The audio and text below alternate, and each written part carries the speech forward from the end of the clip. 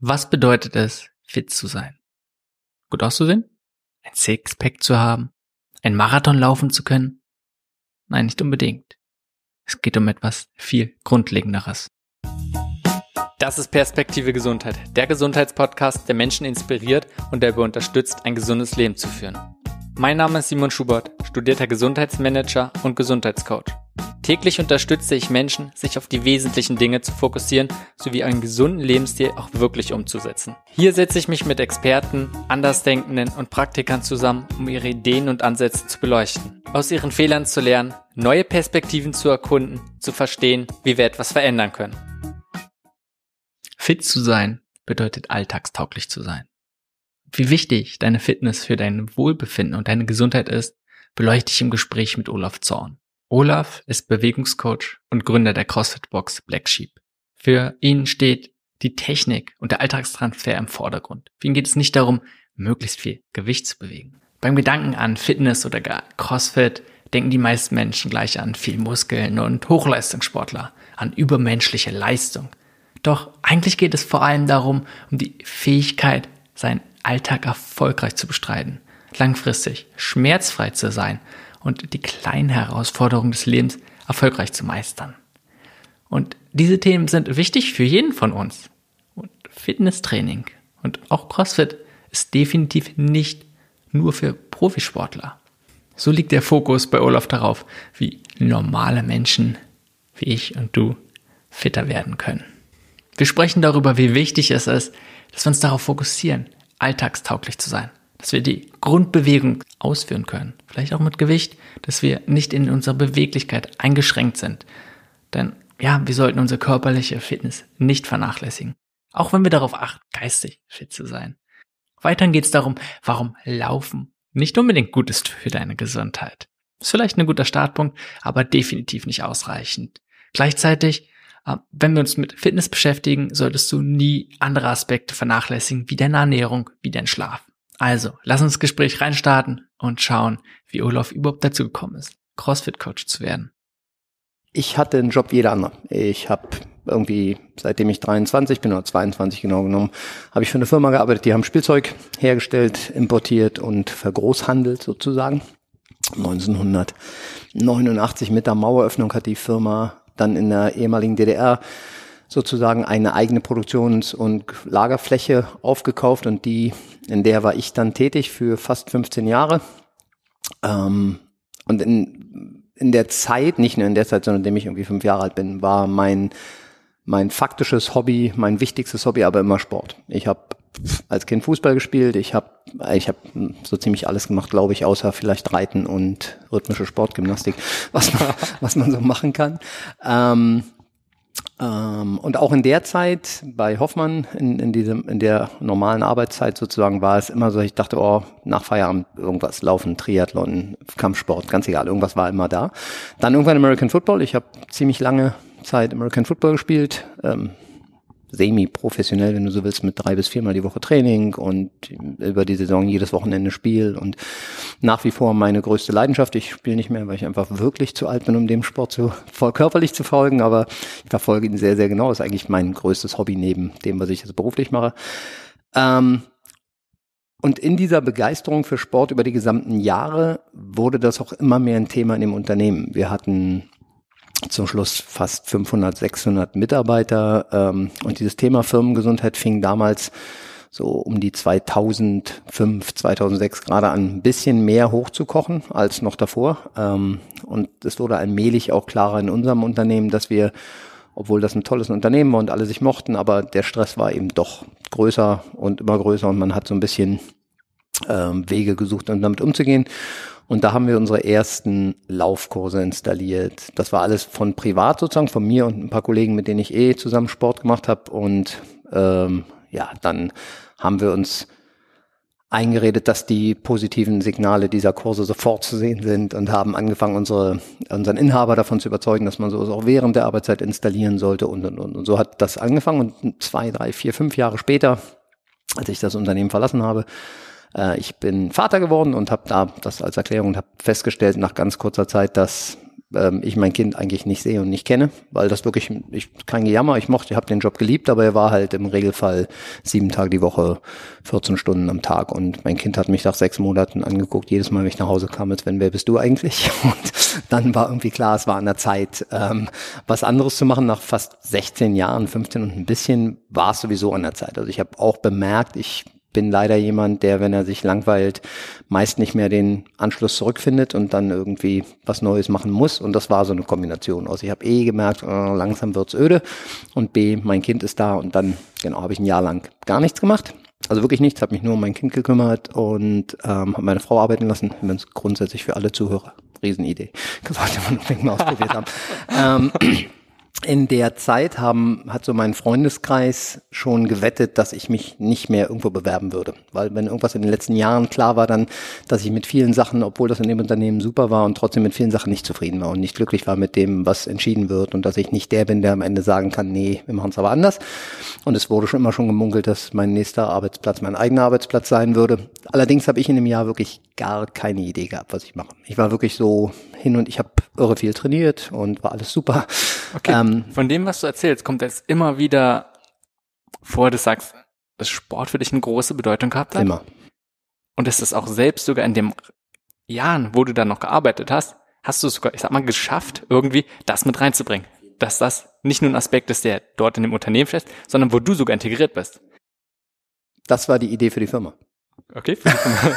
kam dir dann nicht irgendwann die Idee, dass du sagst, boah, das ist deine Passion, das ist das, was du machen willst, wie deine Berufung? Ich weiß gar nicht, was ich sagen soll, ohne zu übertreiben, aber ich glaube, nee, ich war wirklich nie. Also ich glaube, ich habe nie realisiert, dass es machbar sein könnte, mit dem als Hobby mit meinem Hobby wirklich ernsthaft Geld zu verdienen, außerhalb von Profifußballer oder was auch immer es war. Äh, in meinem Kopf gab es genau zwei Sparten. Entweder du wirst Profi in deiner Sportart, dann kannst du damit Geld verdienen oder Trainer oder was auch immer, oder du machst es als Hobby und verdienst dein Geld mit irgendwas anderem, damit du es machen kannst. Ähm, und dazwischen gab es eigentlich nie was. Und man muss mal objektiv sagen, das klingt jetzt total blöd, aber es ist wirklich so. Wenn ich darüber nachdenke, wie ich aufgewachsen bin, bis hin 25, 30 Jahre alt, da war das, was wir heute erleben, in dieser den dieses Hobby zum Beruf machen als Personal Trainer, als was auch immer, das gab's schlichtweg nicht. Ich glaube, als ich 25 war, gab's noch keinen Personal Trainer. Na, also was ich meine, es ist so, ähm, es viel passiert, auf jeden absolut Fall. Absolut. Allein nur die letzten zehn Jahre, wenn du dir die anguckst, weil die, all die Wissensinseln, die verschwunden sind, ob des Internets, all das, was gut oder schlecht da draußen rumgeistert an, an Wissen übers Internet. Und meist ist es gut, wenn du mich fragst, aber es gibt auch genug anderen Kram natürlich. Aber das war wirklich eine Phase, ich hätte nie gedacht, dass man das machen kann. Also wenn ich früher über Fitnessstudios nachgedacht habe, eins zu eröffnen, dann hätte das ja bedeutet, man müsste irgendwie 500.000 Euro Kredit aufnehmen, um all die Geräte zu kaufen, weil das war die Form von Fitness, mit der ich aufgewachsen bin und die ich kannte. Ähm, insofern, nee, zu der Zeit überhaupt nicht. Okay. Lass uns mal kurz ein bisschen nach vorne sprechen. Unbedingt. Wo du gesagt hast, oder nein, wo du ja, hier die CrossFit Box mhm. aufgemacht hast. Äh, ich glaube, es ist nicht die erste, ne? Du warst davor mit einem anderen Standort. Es ist die gleiche Box in einem anderen Standort, genau. Wir waren schon immer der gleiche Laden, aber wir mussten den Standort wechseln, genau. Und wie kam es dazu, dass du dann nochmal den Wechsel zu CrossFit gemacht hast? Weil, mh, so wie es auch gerade schon angedeutet hast, war es jetzt nicht unbedingt das, was du davor gemacht hast, ähm, wo du ja da reinkommst. Irgendwann gab es sicherlich nochmal einen Cut, wo du gesagt hast, äh, von dem, was du davor gemacht hast, wow, hier gibt's was mhm. ganz Neues und da möchte ich tiefer reingehen. Also der Wechsel zu CrossFit selber ist, den, der kommt in einer Minute. Die Erklärung, warum wir überhaupt einen Laden, ob CrossFit oder nicht, aufgemacht haben, war, dass wir Firmenkurse für Gesundheit angeboten haben. Und nach ein, zwei Jahren, drei Jahren, vier Jahren, die Firmen anfingen oder die Mitarbeiter anfingen zu sagen, das ist echt super, dass meine Firma hier einmal die Woche das Training mit dir bezahlt, macht irre viel Spaß, aber einmal die Woche bringt nichts. Wie, wo kann ich hinkommen, um mit euch nochmal zu trainieren? Zu der Zeit, wenn ich euch sage, waren wir ich und noch ein, zwei Freiberufler, die ab und zu mal einen Kurs vertreten haben. Ähm, und unsere Idee war von vornherein, das nie zu machen, weil unser Konzept war ganz klar, wir gehen zu der Firma, wir machen es in den Räumen der Firma oder aber laufen dann von, vom Firmentor aus aber kein eigener Laden, nie, nie im Leben. Und so haben wir auch immer argumentiert für die ersten drei, vier Jahre gesagt, nee, du, dann musst du, wir können dir einen Trainingsplan schreiben, aber das musst du dann bei, keine Schleichwerbung jetzt bei irgendjemand anders machen, aber wir haben keinen Laden. Und diese Anfragen wurden aber so häufig, letztendlich sagen wir heute ein bisschen voller Stolz, bestimmt nicht unbedingt nur, weil es so schlecht war, sondern weil die Qualität der Trainings einfach ganz gut funktioniert hat, dass wir irgendwann sagten, Mann, vielleicht versuchen wir das einfach mal. Und Marc, der rennt hier draußen irgendwo rum, und ich, ähm, wir haben uns mal auf einem Seminar kennengelernt und Marc hatte zu der Zeit ein Trainingszentrum für Höhentraining. Ähm, und da hatte er einen Raum frei. Der Raum war 40, 50 Quadratmeter groß vielleicht. Da war nicht, das war so ein Kursraum, der aber nie benutzt wurde. Und den habe ich gemietet. Und da haben wir einmal die Woche am Dienstag Leute zum Training eingeladen. Und dann wurden es mehr und dann haben wir Dienstag und Donnerstag trainiert. Okay, dann, du hast gesagt, du hast davor habt ihr Lauftraining gemacht. Genau, Was hast du im Raum gemacht? Nee, nee, wir haben schon so funktionelles, also vor zehn Jahren war das auch noch nicht so, aber, aber was wir dachten, das funktionelles, also, ne, ich habe mich mit, mit dem Thema, was kann man denn machen, wenn man nicht unbedingt auf Geräten trainieren will, schon zu der Zeit massiv beschäftigt und habe dann in den USA CrossFit durch Zufall, wirklich nur bei einem Besuch kennengelernt. Ein Freund von mir hat gesagt, du, oh, ich muss dir das zeigen, das ist so lustig, das wirst du lieben, es ist wie Football ohne Ball, Team und viel. Und ich so, ja, nee, ist klar, verstehe. Und CrossFit, ich habe wirklich gedacht, das ist abgedroschen, aber ich dachte wirklich, wir reden von so Cross-Trainer-Maschinen, wo ich mich jetzt für eine Stunde draufstelle und sage, was willst du von mir? Und ähm, genau, dann bin ich dahin und habe mein erstes Training gemacht. Ähm, für alle CrossFit-Fanatiker, es war natürlich Fran, was so ziemlich eines der schlimmsten, die man machen kann. Habe irgendwie 17 Minuten gebraucht und die besten da waren nach vier Minuten fertig und ich, und ich hielt mich für irre fit und dachte so, oh mein Gott, was ist denn jetzt passiert? Und bin am nächsten Tag wieder hin, um zu gucken, wie das denn sein kann. Und da hat's angefangen. Und da habe ich dann wirklich das Thema für mich CrossFit unabhängig von diesem Bewegen in der vollen körperlichen Reichweite, ob mit oder ohne Gewicht. Was ist eigentlich wirklich ein Squat und muss er wirklich unter 90 Grad sein oder hilft das auch, wenn du halb kannst und, und, und, und, und. Und damit haben wir in diesen Räumen angefangen. In diesen haben wir wirklich so ganz simple Basis, Körpergewichtsgeschichten. Ähm, manchmal gucken wir drauf zurück heute und lachen uns tot. Ein paar der Athleten, mit denen wir da angefangen sind, heute noch hier bei uns. Ähm, das ist wirklich sehr witzig. Genau, aber das war sozusagen der erste, die erste Idee. Und da, daraus ist der alte Laden entstanden, an dem wir ganz zum Schluss auch so wie hier ganz regulär sieben Tage die Woche trainiert haben. Aber wir haben den nächsten Raum angemietet, neben dem ersten Raum. Da haben wir unser erstes Rack reingebaut. Da waren dann wirklich die ersten klassischen CrossFit-Trainings, wenn du so willst, und nicht mehr nur Körpergewicht, weil wir hatten dann irgendwie auch zwei Medizinbälle und eine Kettlebell und ich weiß es nicht. Aber so ist wirklich, wirklich klassisch so eine CrossFit-Geschichte. Wir machen in der, fangen in der Garage an und kaufen immer das, was wir uns gerade leisten können dazu und dann kommt wieder ein Kunde dazu und wir kaufen wieder was und genau so war das. Und dann sind die haben die uns da gekündigt, weil da ein Einkaufszentrum gebaut wurde. Zu der Zeit hätten wir beinahe aufgehört, weil wir wirklich dachten, in Berlin eine Fläche zu finden, die jetzt auch für uns Expansion mit sich bringen könnte, ist annähernd unmöglich in einer guten Ecke. Und dann hat ein, ein Mensch aus unserem Kreis sich geoutet, aus unserem Kundenkreis sozusagen, dass er Großgrundbesitzer ist und er hätte da so eine Fläche, die sollten wir uns unbedingt mal angucken, weil er so begeistert von dem ist, was wir machen und er fände es total traurig, wenn wir aufhören müssten. Ja, und das war das hier. Und daraus ist jetzt sieben Jahre später oder sechseinhalb Jahre später, ähm, glaube ich, eine schöne, also zumindest optisch erstmal eine der schöneren Läden geworden. Genau. Ja, geile, Geschichte, ja, geile Geschichte, wie auch Unterschied, wie du dazu gekommen bist, ähm, finde ich interessant. Was auch immer wieder auffällt, ich weiß nicht, ob du es öfter hörst auch, von vielen Leuten ist so das Typische, die erste CrossFit-Stunde. Ja. Das ist wirklich ja. jetzt so ein besonderes Erlebnis. Ich, ich glaube, das ist, es gibt so ein paar Sportarten, glaube ich, wo das, oder vielleicht nicht nur Sportarten, gibt auch Gerichte wahrscheinlich, wo das ist, wo du was testest und du liebst es entweder oder du sagst, oh Gott, niemals wieder. Und ich glaube, CrossFit ist so ein bisschen so ähnlich. Entweder du bist jemand, und das hat gar nicht immer unbedingt mit dem, wettkampforientierten oder sehr verbissenen oder leistungsorientierten zu tun. Das bin ich alles, ganz schlimm. Aber das war es, glaube ich, nicht. Sondern was es wirklich war, war die ähm, Angesicht zu Angesicht mit etwas, von dem ich dachte, so schlimm kann es doch nicht sein. Und da waren Frauen, und das klingt jetzt irre sexistisch, so ist es aber nicht gemeint, aber es war für mich zu der Zeit, waren Frauen, die haben mich einfach zerstört in diesem Workout. Und ich dachte, ich bin mega fit, ich mache Triathlon und ich weiß es nicht und es kann gar kein Problem sein. Und hing an dieser Stange bei meinem, ich vielleicht fünften Pull-up und dachte die ganze Zeit so, warum macht die denn da zwölf hintereinander und ich kann nicht zwei? Ähm, und bei mir setzt schon eine Form von, nee, das muss ich mir morgen nochmal angucken, das muss besser gehen ein. Das, und ich glaube, das ist nicht bei jedem so, aber was wir hier erleben ist, wenn du es wenn du es vernünftig dosierst, also Leute durchaus zwar an ihre Grenze bringst, dass sie auch sagen, das ist zu viel oder das ist echt heftig gewesen, ist aber so dosierst, dass sie trotzdem hinterher rausgehen und denken, boah, das war cool, dann kommen sie auch wieder. Wenn du so wie klassisch früher beim CrossFit gearbeitet wurde mit, mach jetzt Friend und wenn du nicht fertig wirst, ist mir auch egal, du Pfeife, da ist die Chance, glaube ich, groß, dass 50 Prozent mhm. sagen, nee, das ist nichts für mich. Aber ich glaube, das ist so. Also es gibt also Leute. Fordern und nicht überfordern. Ja, definitiv. Habe ich nicht so gut formulieren können, aber ja, genau. ich glaube, das ist es, was wir machen hier aus so, wir haben jetzt schon ein paar Mal Instinkt. CrossFit mhm. gesagt. Und ich sicher, inzwischen ist es sehr bekannt mhm. und viele Leute kennen es schon. Äh, kannst du es mal mit deinen Worten erklären? Es geht nicht darum genau, was es ist, nee, die Definition, nee, nee. sondern was vielleicht, was du darunter mhm. verstehst.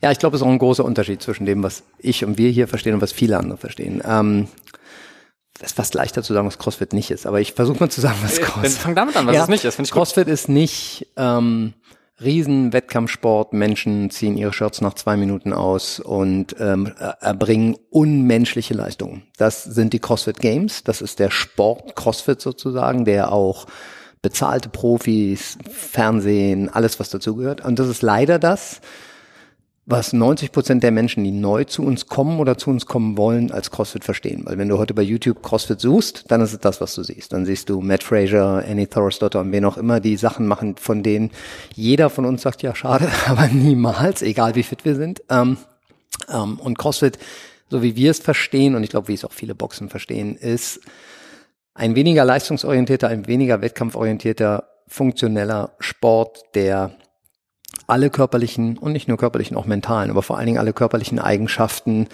relativ parallel schult. Und das klingt zu gut, um wahr zu sein. Aber die Idee ist ja auch übrigens nicht neu. Ob das, ja, das ist eine Form von Circle-Training. Was, was wirklich anders gemacht wurde bei dem, bei der Erstellung von CrossFit ist, dass man noch mehr Sportarten zusammengeworfen hat in dieses Circle-Training. Ne? Vom olympischen Gewichtheben über klassische Ausdauersportarten. Und was wir gerne benutzen, ich glaube, was auch wirklich eine der passendsten ähm, Vergleiche ist, ist, du bist ein besserer Läufer als ein guter Gewichtheber und du bist ein besserer Gewichtheber als ein guter Läufer.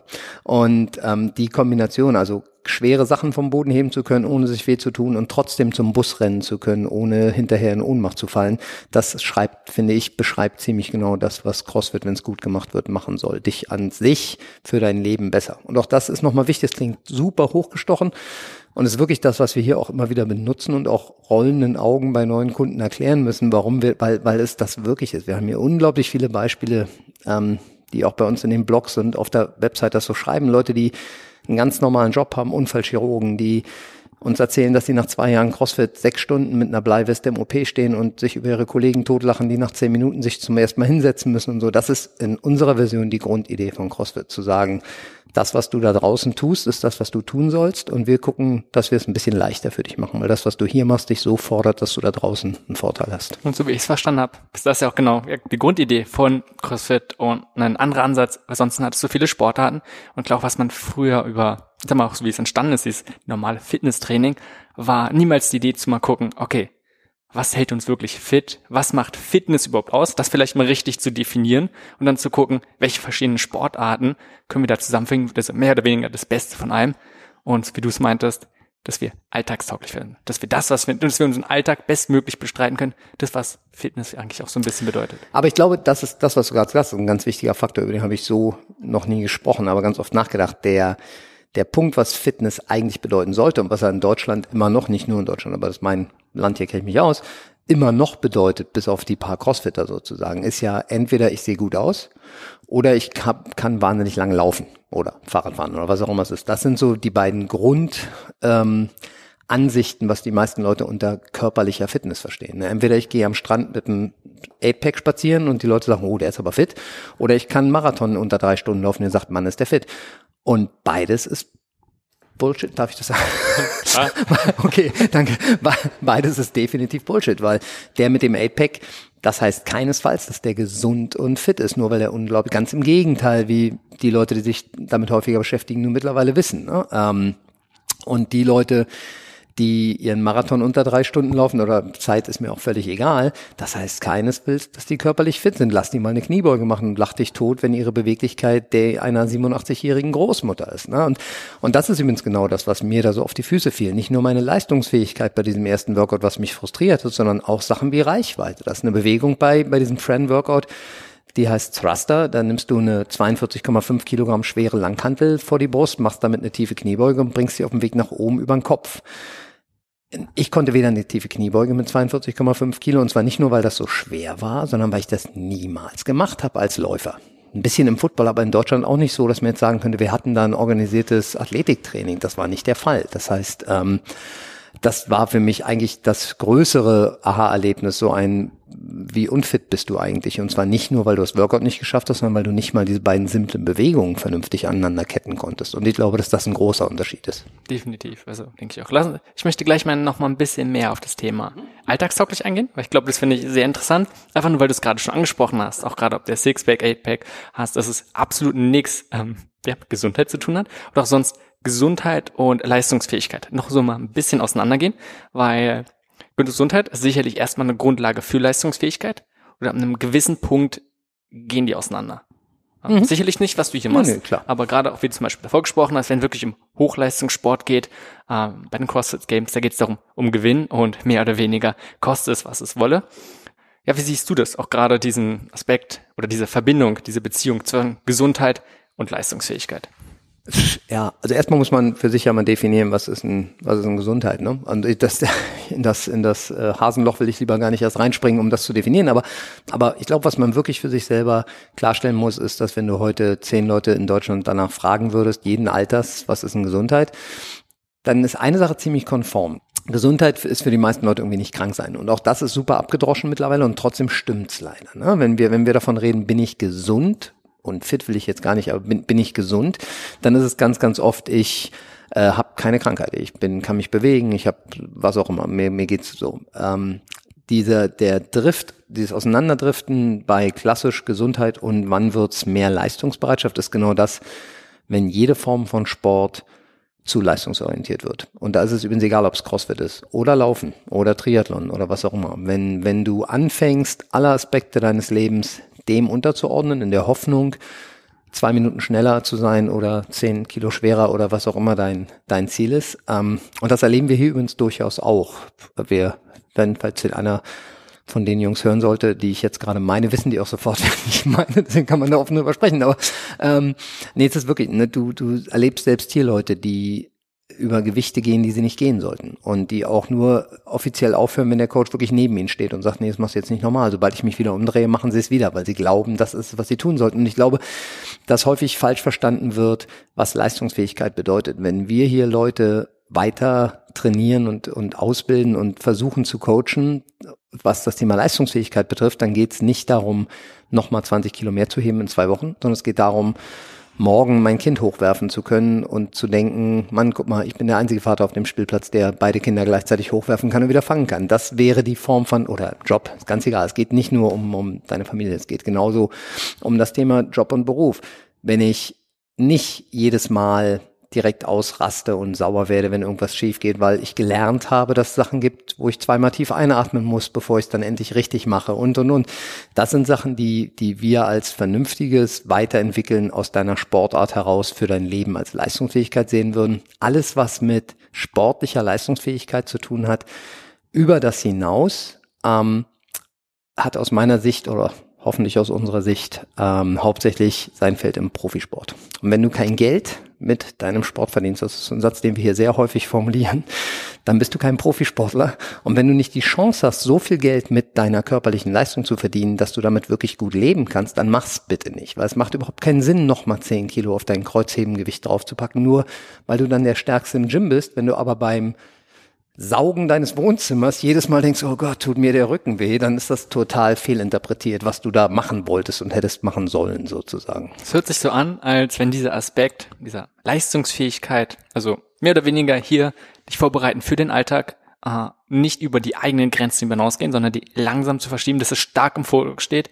und dass es in der Tat nicht so ist, möglichst, ja, mehr Gewicht mehr haben, ich sag mal, in dem sportlichen ja, ja. leistungsfähiger zu werden. Nee, im Gegenteil, Simon. Es ist wirklich, ähm, wir müssen, wir tun es auch. Wir müssen wirklich Leute zurückhalten, weil das ist der Nachteil dessen, was ich vorhin schon mal gesagt habe, was Leute unter CrossFit verstehen. Und man versteht halt unter CrossFit Männer mit freiem Oberkörper, die aussehen, ich weiß nicht wie, und Frauen halb freier Oberkörper, die aussehen wie, verrückt und Gewichte durch die Gegend schmeißen und das sieht aus wie ein lockeres Spiel. Und das ist es nicht. Das sind Menschen, wenn wir auf CrossFit das beziehen, und so ist aber in jeder Profisportler. Das sind Menschen beim CrossFit, die trainieren sechs bis acht Stunden am Tag und die machen auch nichts anderes, als über den Tag verteilt sechs bis acht Stunden zu trainieren, zu essen, zu regenerieren, zu massiert zu werden, physische Behandlung, was auch immer. Und das machen die jeden Tag für zwölf Stunden und dann schlafen sie zwölf Stunden. Das ist ungefähr das Leben eines CrossFit-Profis, ähm, zumindest von denen, die sich leisten können.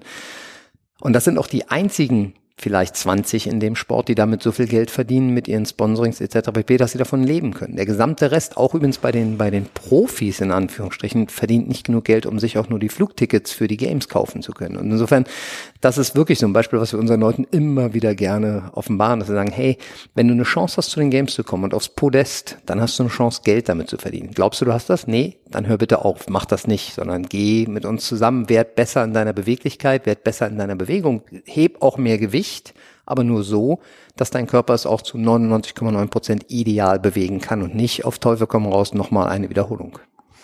Lass uns mal mehr darauf eingehen, warum es so wichtig ist, mhm. verschiedene Aspekte zu integrieren. Weil für den anderen kann es jetzt sein, wie Laufen reicht nicht mhm. aus. Ähm, oh ja, ja und warum, übrigens. ähm, und warum, ja, muss ich, warum muss ich eine tiefe Kniebeuge können? Mhm. Mhm. Genau, also das mit der tiefen Kniebeuge finde ich ein ganz schönes Beispiel und Laufen reicht nicht auch, sind auch sind eigentlich zwei ganz ganz schöne Beispiele. Ähm, wenn du eine tiefe Kniebeuge gerne auch wirklich mit dem Po in die Nähe des Hinterns in einer perfekten Form beherrschst, wenn dein Körper das hergibt, ist das ein Zeichen nicht, nicht dafür, dass du irre fit bist, das wäre so, sondern es ist ein Zeichen dafür, dass für diese eine Bewegung dein Bewegungsapparat den Ausdruck menschlicher Reichweite beherrscht. Und zwar den, den er haben sollte. Mein Lieblingsbeispiel dafür sind kleine Kinder, egal welchen zwei, drei, vier, fünfjährigen, du sich so hinhocken lässt, musst du es im Regelfall gar nicht sagen, weil wenn die spielen, hocken die so. Die sitzen nie, die liegen kaum, wenn sie nicht schlafen, sondern das ist eine ihrer bevorzugten Positionen neben rumrennen und Blödsinn machen ist, auf den Hacken hocken und mit ihren Sachen zwischen den Beinen spielen. Was auch, das könnte man falsch verstehen. also mit Spielzeugen, die, die zwischen, ähm, genau. Ähm, und dann verlieren wir das irgendwann. Ähm, und zwar wir alle. Ich hab's verloren. Es ist nicht so, dass ich das immer so konnte, wie es jetzt wieder geht. Und es ist immer noch nicht perfekt, aber so, du kommst irgendwann an den, fängst an, mehr Schuhe zu tragen, du fängst an, mehr zu sitzen. Das wird immer schlimmer nach der Schule. Also mit der Schule fängt's an. Und das sehe ich bei meinen Kindern zum Beispiel ganz deutlich. Ich hab, ähm, jetzt sind sie beide in der Schule, aber bis vor zwei Jahren war mein kleiner Sohn noch nicht in der Schule. Meine Tochter ist in der fünften Klasse, mein Sohn noch nicht in der Schule. Nach fünf Jahren Schule hat meine Tochter einen Teil dieser Beweglichkeit und dieser Ausdrucksweise menschlicher Bewegungsreichweite verloren. Nicht so viel wie viele andere, weil sie das muss, ob sie will oder nicht sozusagen, aber, aber sie hat ein bisschen was verloren. Und mein Sohn, mein Sohn halt, hat das bemerkt und er hat jedes Mal einen Ring durch die Nase gezogen, mental, wenn er wieder was konnte, was sie nicht mehr konnte. So und, und das ist wirklich ein ganz schönes Beispiel, nicht meine Kinder, sondern das insgesamt. Wir, wir haben etwas, was wir dann komplett auf der Strecke lassen. Wenn du dir heute den durchschnittlichen 30-jährigen Büroarbeiter ohne Wertung anguckst und der kommt hierher und wir machen mit dem ein Assessment zum Thema seiner Bewegung, dann erleben wir wirklich körperliche Katastrophen.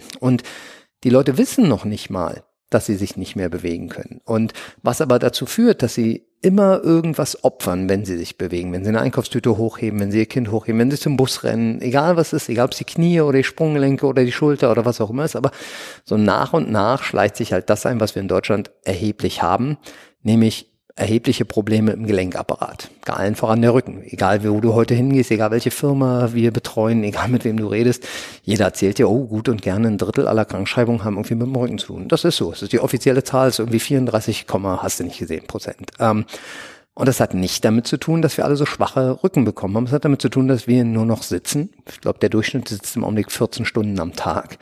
Ähm, und uns überhaupt nicht mehr in der Reichweite unserer Körper bewegen. Und wenn wir das 20 Jahre lang gemacht haben, ist alles zu spät. Zum Glück nicht wirklich zu spät, weil man das auch wieder zurückkriegt, egal wie alt man ist, wenn man will. Nur es macht dann halt unglaublich viel Arbeit. Und ich glaube, dass das so ein ganz entscheidender Punkt ist, der, der, den wir, den wir hier versuchen, Leuten näher zu bringen, dass wenn du bei uns einsteigst, es nicht darum geht, dass du morgen zehn Klimmzüge kannst, sondern es erstmal darum geht, dass wir dich wieder in die Lage versetzen, dich so zu bewegen, wie ein normaler Mensch sich bewegen sollte. Und und das Schlimme dabei, was ich mal wieder erfahre, ist, dass wir es im Alltag ja nicht merken. Man merkt es dann irgendwann, wenn es wirklich weh tut, wenn was ist. Aber ansonsten, dadurch, dass man ja einen, ich sag mal, eingeschränkten Alltag hat, macht man diese Bewegungsabläufe nicht. Was aber gleichzeitig nicht bedeutet, dass das so in Ordnung ist. Weil sonst könnte man sagen, nur weil wir, okay, ich kann, ich kann jetzt nicht den, hab nicht den vollen Bewegungsumfang. So what? Brauche ich sowieso nicht. Ich kann ja Alltag 14 Stunden sitzen, ist ja kein Problem. Genau, ist es so. Laufen genau. kann ich auch noch genau, irgendwie. Genau. Ähm, ich glaube, das, das hast du so ein bisschen angedeutet, um es noch ein bisschen drastischer zu sagen, dadurch, dass wir es können, oder nicht mehr können, nicht nur vollen Bewegungsumfang, aber haben wir nicht mehr die Fähigkeit, diese Bewegungen idealerweise auszuführen. Dadurch wird unser ganzer, auch passiver, also generell die Gelenke, die Muskeln sehen alles nicht mehr ideal das Lastet. macht uns krank. Und im Augenblick sagt jeder, Sitzen ist das neue Rauchen. Und ich deswegen keinen Satz nicht mehr sagen. Aber wir haben ihn vor zehn Jahren schon gesagt, ohne Blödsinn. Eine meiner amerikanischen Coaches hat ihn mir vor zehn Jahren schon gesagt. Und Ähm, es ist de facto unabhängig vom Sitz, aber es ist halt einer der Hauptfaktoren. Es ist de facto so, dass was es, es macht uns insgesamt krank, was wir da machen. Und wir merken es nicht leicht, das ist genau das, was du sagst, sondern pff, warum auch? Ich sitze vorm Fernseher, ist super, mir geht's prima dabei, wenn ich Chips esse, ist hervorragend. Äh, nur zehn Jahre später kann ich kaum noch was anderes machen. Egal, ob ich wahnsinnig dick geworden bin, auch ohne Wertung oder nicht, sondern es ist einfach nur, Leute können sich nicht mehr richtig hinsetzen. Leute können nicht mehr laufen. Wir kommen jetzt zu dem zweiten Thema, was du angesprochen hast, Laufen. Ähm, und das ist der nächste für uns, das nächste wirklich riesige Problem, sind diese ganzen Fehlweisheiten aus dem, aus dem Netz, all das, all das ähm, Theater zum Thema Lauf doch, Sport, Laufen ist super gesund. Das ist der gesündeste Sport der Welt, ist Laufen. Ähm, und jeder kann es. Das ist das Tolle an Laufen. Das, ne, ich warte jedes Jahr wieder im Frühling, müsste jetzt bald losgehen, ist April, kommt wieder der Stern oder der Fokus oder wer auch immer mit der Titelseite Laufen, Volkssport Nummer eins, kauf dir ein paar Schuhe und such den Wald, das ist es. Und uns stellen sich die Nackenhaare auf. Wir kriegen Migräne und Pickel von diesen Artikeln, weil wenn wir Leute laufen sehen, und das ist das Thema, mit dem wir uns als erstes beschäftigt haben, weil wir daherkamen, viele von uns, ist es wirklich erschreckend, wie Menschen sich kaputt machen. Und Laufen ist der Sport, also Sport, Hobbylaufen ist der Sport mit der höchsten Verletzungsdichte aller Sportarten, die es gibt. Irgendwie über 70 Prozent aller Hobbyläufer verletzen sich früher oder später so, dass sie aufhören. Knie, Hüfte, Sprunggelenk, ganz egal. Und das hat nichts damit zu tun, dass wir alle das so nicht machen sollten, das hat damit zu tun, dass es genau wie bei allen anderen, was wir gerade gesagt haben, Leute laufen, nachdem sie 14 Stunden gesessen haben. Und sie haben die Bewegungsrate. Das Sprunggelenk bewegt sich nicht mehr zu 100 Prozent und die Knie fallen nach innen, weil die Fußmuskulatur nicht mehr da ist und deshalb immer nach innen wegbricht und, und, und, und, und. Und wenn wir uns in den Park setzen, machen wir wirklich häufig mal so, nicht auf Kundenjagd, aber es ist ja eigentlich eine ganz gute Idee grundsätzlich, wenn Leute dir entgegenlaufen und du siehst, wie die Knie fast aneinander schlagen. Und du kannst, du, du, du kannst voraussagen, dass der aufhören muss, früher oder später, weil sein Innenmeniskus das nicht mehr mitmachen wird beim Laufen. Und das, das ist exakt das, was passiert, wenn du 14 Stunden rumsitzt und dich nicht darum kümmerst, dass dein Körper auch nur annähernd in der Reichweite sich bewegen sollte, in der er sich bewegen kann. Ist ein, ja, sehr, sehe ich auch mal wieder und finde es sehr praxisnah. Und man kann es auch ganz gut beobachten, wenn man die Gesichter der Leute guckt, weil alle schmerzverzerrt. Und jeder, der vielleicht schon mal das kennt, ist gelaufen und dabei tut ihm alles weh und danach und der denkt, das muss so genau. sein. Und gerade beim Anfang, erstmal machen durch den Schmerz, dann ja. irgendwann wird's besser. Immer Definitiv noch mal schneller am besten, wenn es richtig weh tut. Ja, genau. Definitiv nicht. Nee. Es sollte nicht so sein. Und Laufen ist so ein schönes Beispiel für, für ähm, dass es wahnsinnig schwer ist, in unserem Bereich wirklich Geld zu verdienen. Das ist kein Jammer, sondern wirklich, was ich damit erklären will, ist, ähm, ich werde immer wieder gefragt, wie ich mir denn erlauben könnte, für Firmenkurse beim Laufen so viel Geld zu nehmen. Und, und bis du Leuten wirklich mal erklärt hast, was sie machen müssen, damit sie schmerzfrei, gesund laufen können, weil die, die Zeitung hat ja völlig recht, Laufen ist ein super gesunder Sport, wenn du weißt, was du tust und weißt, was Laufen eigentlich bedeutet. Aber nicht, wenn du dir ein paar Schuhe kaufst und dich dabei auch noch beraten lässt von einem, der gerade 10 Euro Provision von der anderen Firma kriegt und es ihm völlig egal ist, welchen Schuh er dir gibt, solange er diese 10 Euro kassiert. All diese ganzen Laufdiagnostiken, die da gemacht werden mit mit Laufband und Videokamera und dann frage ich die Leute hinterher, und was haben die, warum haben die jetzt gesagt, sollst du diesen Schuh? Ja, weil das auf der auf dem Video so zu sehen war. So, okay, alles klar, verstehe. ähm, und es ist, ne, und das ist für mich mein Lieblingsthema ist jetzt sind wir wieder bei dem Ausdruck deiner menschlichen Bewegungsreichweite. Laufen ist sowas, ne, wie Hocken. Also Hocken, als wir noch keine Stühle hatten, haben wir so gehockt, also tiefe Kniebeuge. Laufen ist das nächste Thema. Laufen ist die Nummer eins und die Verletzungsquote bei jungen Sportlern, bei Fußball, äh, Kinderfußball, also 12, 13 jugendlichen Fußballern, Hockeyspielern, Basketball und so weiter, steigt in einem Tempo an, schlichtweg, weil keiner von denen mehr lernt, sich richtig zu bewegen. Haben wir übrigens auch nicht gelernt, aber zu der Zeit ist das nicht getrackt worden. Das ist, bin ich übrigens wirklich, es ist nicht schlimmer geworden. Was schlimmer geworden ist, ist die Art und Weise von Zeitfenstern, in denen die Jungen und Jugendlichen jetzt sitzen und nicht unterwegs sind. Das hat sich ein bisschen verändert. Ich klinge wieder wie mein eigener Opa, aber das hat sich definitiv verändert, ob aller Devices und rumsitzen und Video und hast du nicht gesehen. So. Wie ist dein Eindruck?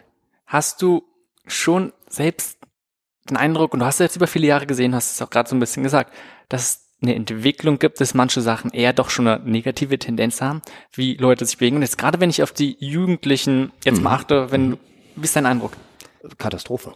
Äh, ernsthaft, also ich kann es gar nicht, ich kann es nicht so drastisch schildern, wie ich es gern schildern möchte, weil dann wird der Podcast nicht mehr jugendfrei.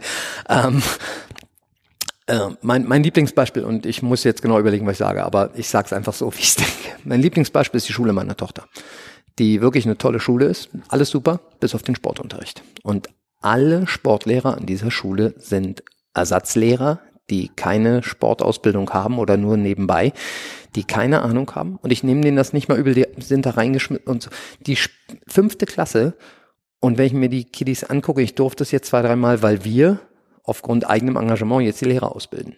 Wir haben mit denen jetzt einen Deal gemacht und wir machen es umsonst sozusagen einfach nur in der Hoffnung, dass mein Sohn, weil er auf der gleichen Schule ist, dann vielleicht einen besseren Sportunterricht hat, wenn es soweit ist. Ähm, und das hat wirklich damit zu tun, dass wenn du heute einen 25-jährigen Sportlehrer hast, dessen Passion das aber nicht ist, also vielleicht das Lehramt und vielleicht auch Kinder, unter, aber nicht Sport, Physiologie, Sport, alles was mit wissenschaftlichen Themen dahin zu tun hat, wenn das nicht seins ist, wenn er nicht jeden Tag auf dem Weg zur Schule einen Podcast hört und, und, und, und, und, dann ist die Chance groß, dass der während seiner Ausbildung Sachen gelernt hat, die wir schon nicht mehr lehren würden, wenn man uns fragt. Und, und die entsprechend auch weitergibt an Kinder, die damit lernen, auf dem Hacken zu laufen und dass es nicht wichtig ist, wo die Knie hin zeigen. Und, und das ist meine Tochter ist nicht besonders beliebt in ihrer Klasse, weil sie immer allen erklärt, was sie anders machen sollen.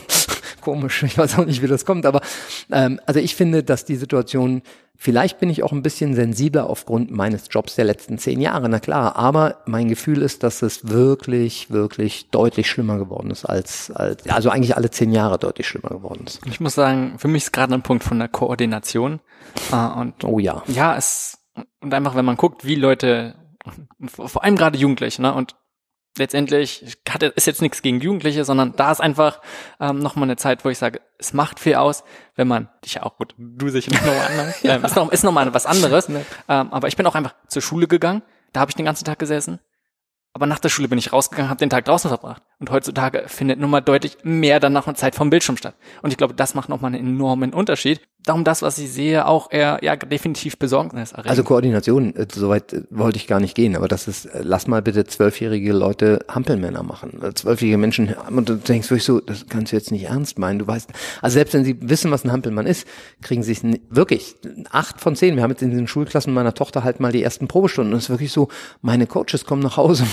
Oh mein Gott, ich weiß nicht, ob ich da wieder hin will. Das ist nicht, dass die dabei keinen Spaß haben und dass man denen das nicht auch wieder zurückgeben können, aber es ist halt das, was du sagst, ist für mich besonders erschreckend, besonders besorgniserregend, dass unabhängig von der Bildschirmzeit oder was auch immer, ist mir eigentlich egal, aber das Thema Bewegung ist nicht mehr im Vordergrund. Der, und das ist, bei mir war es exakt das, was du sagst. Ich bin zur Schule gegangen und ich musste zur Schule gehen. Das war aber auch alles, warum ich da saß. Und danach habe ich Fußball gespielt oder was auch immer gemacht. Das ist ganz egal. Und wenn wir Blödsinn, aber wir sind rumgerannt und haben irgendwie auf dem Baum gesessen, so wirklich. Und ich glaube, dass da in den letzten 20 Jahren unglaublich viel verloren gegangen ist und das wird, das wird eher schlimmer denn besser. Wir machen ja relativ viel im, im betrieblichen Gesundheitsmanagementbereich mit, unser, mit unserer Firma. Das heißt, wir, viele der Sachen, die wir hier anbieten, bieten wir bei Firmen vor Ort auch an. Und da ist es immer wieder das Gleiche, dass wir wirklich feststellen müssen, die Firmen, die es am, wo es am allerschwierigsten für uns ist, den Menschen ernsthaft zu helfen, vom Niveau her, sind die ganzen Startups, wo 25-jährige Männer und Frauen sitzen, die in ihrem Leben offensichtlich noch niemals irgendeinen organisierten Sport oder irgend, also wirklich, und neun von zehn. Wir reden auch nicht, du hast immer mal einen, der dann nicht doll ist, sondern wir reden von 80 Prozent, 90 Prozent der Leute, die in so einem Büro sitzen, sind bewegungsunfähig. Und das ist wirklich ein Wort, was mir schwerfällt, aber es ist exakt so. Wir reden nicht von, die können sich ganz gut bewegen. Wir reden von kein Ausdruck menschlicher Bewegungsreich. Keiner. Nicht nur, nicht, wir reden nicht von Squatten, wir reden nicht von Pull-ups. Wir reden wirklich von, setz mal schnell einen Fuß vor den anderen. Das ist ein Problem. Die, der Fuß setzt nach innen auf, das Knie fällt rein, du lässt sie aufstehen und hinsetzen, also wirklich das, was sie täglich machen, aufstehen und hinsetzen, also eine Kniebeuge, nur nicht auf so tief. Und es klappt nicht. Und die Knie schlagen aneinander und der Rücken ist rund. Und, und du kannst den 25-jährigen Leuten schon jetzt sagen, in fünf, sechs Jahren haben wir deinen Bandscheibenvorfall. Und dann sagen, wenn du das so ansprichst, weil wir da mittlerweile auch wirklich sehr offen sind, dann sagen, drei von den 20, ja, ich hatte schon einen. Und also, na, auch diese Größenordnung an Menschen, die schwerwiegende Gelenkproblematiken haben, diese Altersstufe ist enorm nach unten geschnellt. Das ist mega erschreckend, finde ich. Und ohne jetzt zu sagen, was alles schlecht naja. läuft, ähm, glaube ich, was man auch nochmal sich so ein bisschen bewusst werden sollte, es geht nicht nur darum, oh, wir können es jetzt nicht mehr so gut bewegen und man sagt, boah, ich sitze wieso am Schreibtisch und das ist nicht schlimm, sondern es hat Auswirkungen auf alle möglichen anderen Bereiche des Lebens und genauso dann auch auf die mentale Leistungsfähigkeit. Es ist nicht so, wie man oft denkt, oh, ich trenne körperliches und geistiges, hat direkte Auswirkungen. Naja, und, und was du sagst, ist, ich glaube, dass das wirklich ein ganz, ganz wichtiger Punkt ist, der, den, wir, den man immer wieder ähm, hinter anderen Sachen zurückstellt, sozusagen. Das mache ich, wenn ich wieder Zeit habe. Das, ne? Und der, der Punkt ist, jedes Jahr, was du in so einem Zustand verbringst, von 20 bis was auch immer, sorgt einfach dafür, dass du es nicht machen wirst. Weil es wird von Jahr zu Jahr schwerer, den Wiedereinstieg, den Rückweg, was auch immer da zu finden. Und das ist das, was wir hier erleben, dass Leute hierher kommen, die Mitte 30 sind und in den letzten zehn Jahren keinerlei sportliche Betätigung, also außer halt dieser einen, diesen Versuch, alle sechs Monate mal zehn Kilometer zu laufen, dabei irre Schmerzen zu haben und dann wieder aufzuhören. Ich, habe es ja zumindest versucht. Ähm, und, und mental, da kommen wir zu einem ganz entscheidenden Punkt, wenn du dir anschaust, wie hoch mittlerweile die, die Krankheitsquote beim, beim Thema Burnout ne? und, und ich glaube, das alles, ich meine das wirklich ernst, ich mache mich da nicht drüber lustig, aber der Punkt ist, ähm, nicht, dass das früher nicht gab, da hat man es wahrscheinlich nur nicht so genannt, aber die Anzahl, in der junge Leute mir erzählen, dass sie das alles nicht mehr können, ist wirklich erschreckend. Und ich war letzte Woche bei einem Unternehmen im ähm, Online-Broker-Bereich, irre abgefahrene Büros, also so wie man sich das vorstellt, wirklich alles mega teuer, nur hippe Leute und alle lieben sich und klatschen dich ab, wenn sie reinkommen, das ist alles fantastisch. Und dann erzählt die Personalchefin mir, warum ich eigentlich da bin. Ähm, ja, wir hatten letzte Woche drei komplette Zusammenbrüche hier von Leuten zwischen 19 und 35 in einer Woche von und jetzt wird Zeit was zu tun. Ich sage echt, jetzt wird Zeit was zu tun. Das ist ganz gut. Vielleicht wäre vor fünf Jahren, aber egal. Aber das, das ist das, was du eben gesagt hast, was glaube ich für die meisten Leute wirklich sich nicht sofort erschließt. Egal wie rum, egal ob das mentale, das körperliche beeinflusst oder umgekehrt, aber du kannst es halt nicht trennen. Und da gibt's noch viel mehr Sachen, ich will lieber nicht in das Rabbit Hole von Ernährung reinspringen, aber, aber ne, so in dieser, in diesem Kreisrunden, die Überschneidung, das ist einfach das, was wirklich da draußen 90 Prozent der Menschen nicht erkennen. Und wenn du sie darauf ansprichst, ist natürlich jeder sagt dir, ja, ist mir schon bewusst, dass mein Kopf auch da sein muss für meinen Körper, aber sich drum kümmern, das tut irgendwie keiner. Das ist echt ein Problem. Definitiv. Und das war, war für mich eine gute Überleitung, weil wenn du jetzt sagst, du hast jemanden, der kommt mit dir, sagen wir Mitte 30 rein, Anfang 30, und er hat wenig Sport gemacht, so wie du gesagt hast. Und er hat vielleicht auch schon einige Probleme und du machst ein bisschen was mit ihm, siehst, oh. Mhm. Manche Bewegungsabläufe sind jetzt nicht ganz so mhm. optimal, sagen wir mhm. mal. Wo fängst du an? Also was machst du? Ähm, weil ich kann mir einfach vorstellen, für jemanden, der das jetzt alles hört und vielleicht ah, das so ein bisschen verdrängt hat, aber schon ahnt, sage ich mal. Ich würde mich da sehr überfordert fühlen ja. und sagen, scheiße. Und ich glaube, das ist ein, äh, also mein, meine Lieblingsantwort dazu wäre depends natürlich, aber, aber ganz objektiv, das kommt wirklich extrem darauf an, wo die Leute sind. Natürlich, wo die Leute sind und wie viel wirklich nicht gar nicht funktioniert. Aber das ist, glaube ich, der Riesenvorteil, wenn du eine gute CrossFit-Box findest, wenn die das tun, was wir unter CrossFit verstehen. Dann sind A, nach so einer, nach so einem ersten Assessment, nimmst du an Gruppentrainings teil, wo die Gruppen sehr klein sind. Bei uns sind es immer maximal zwölf Leute, häufiger sogar weniger, je nachdem.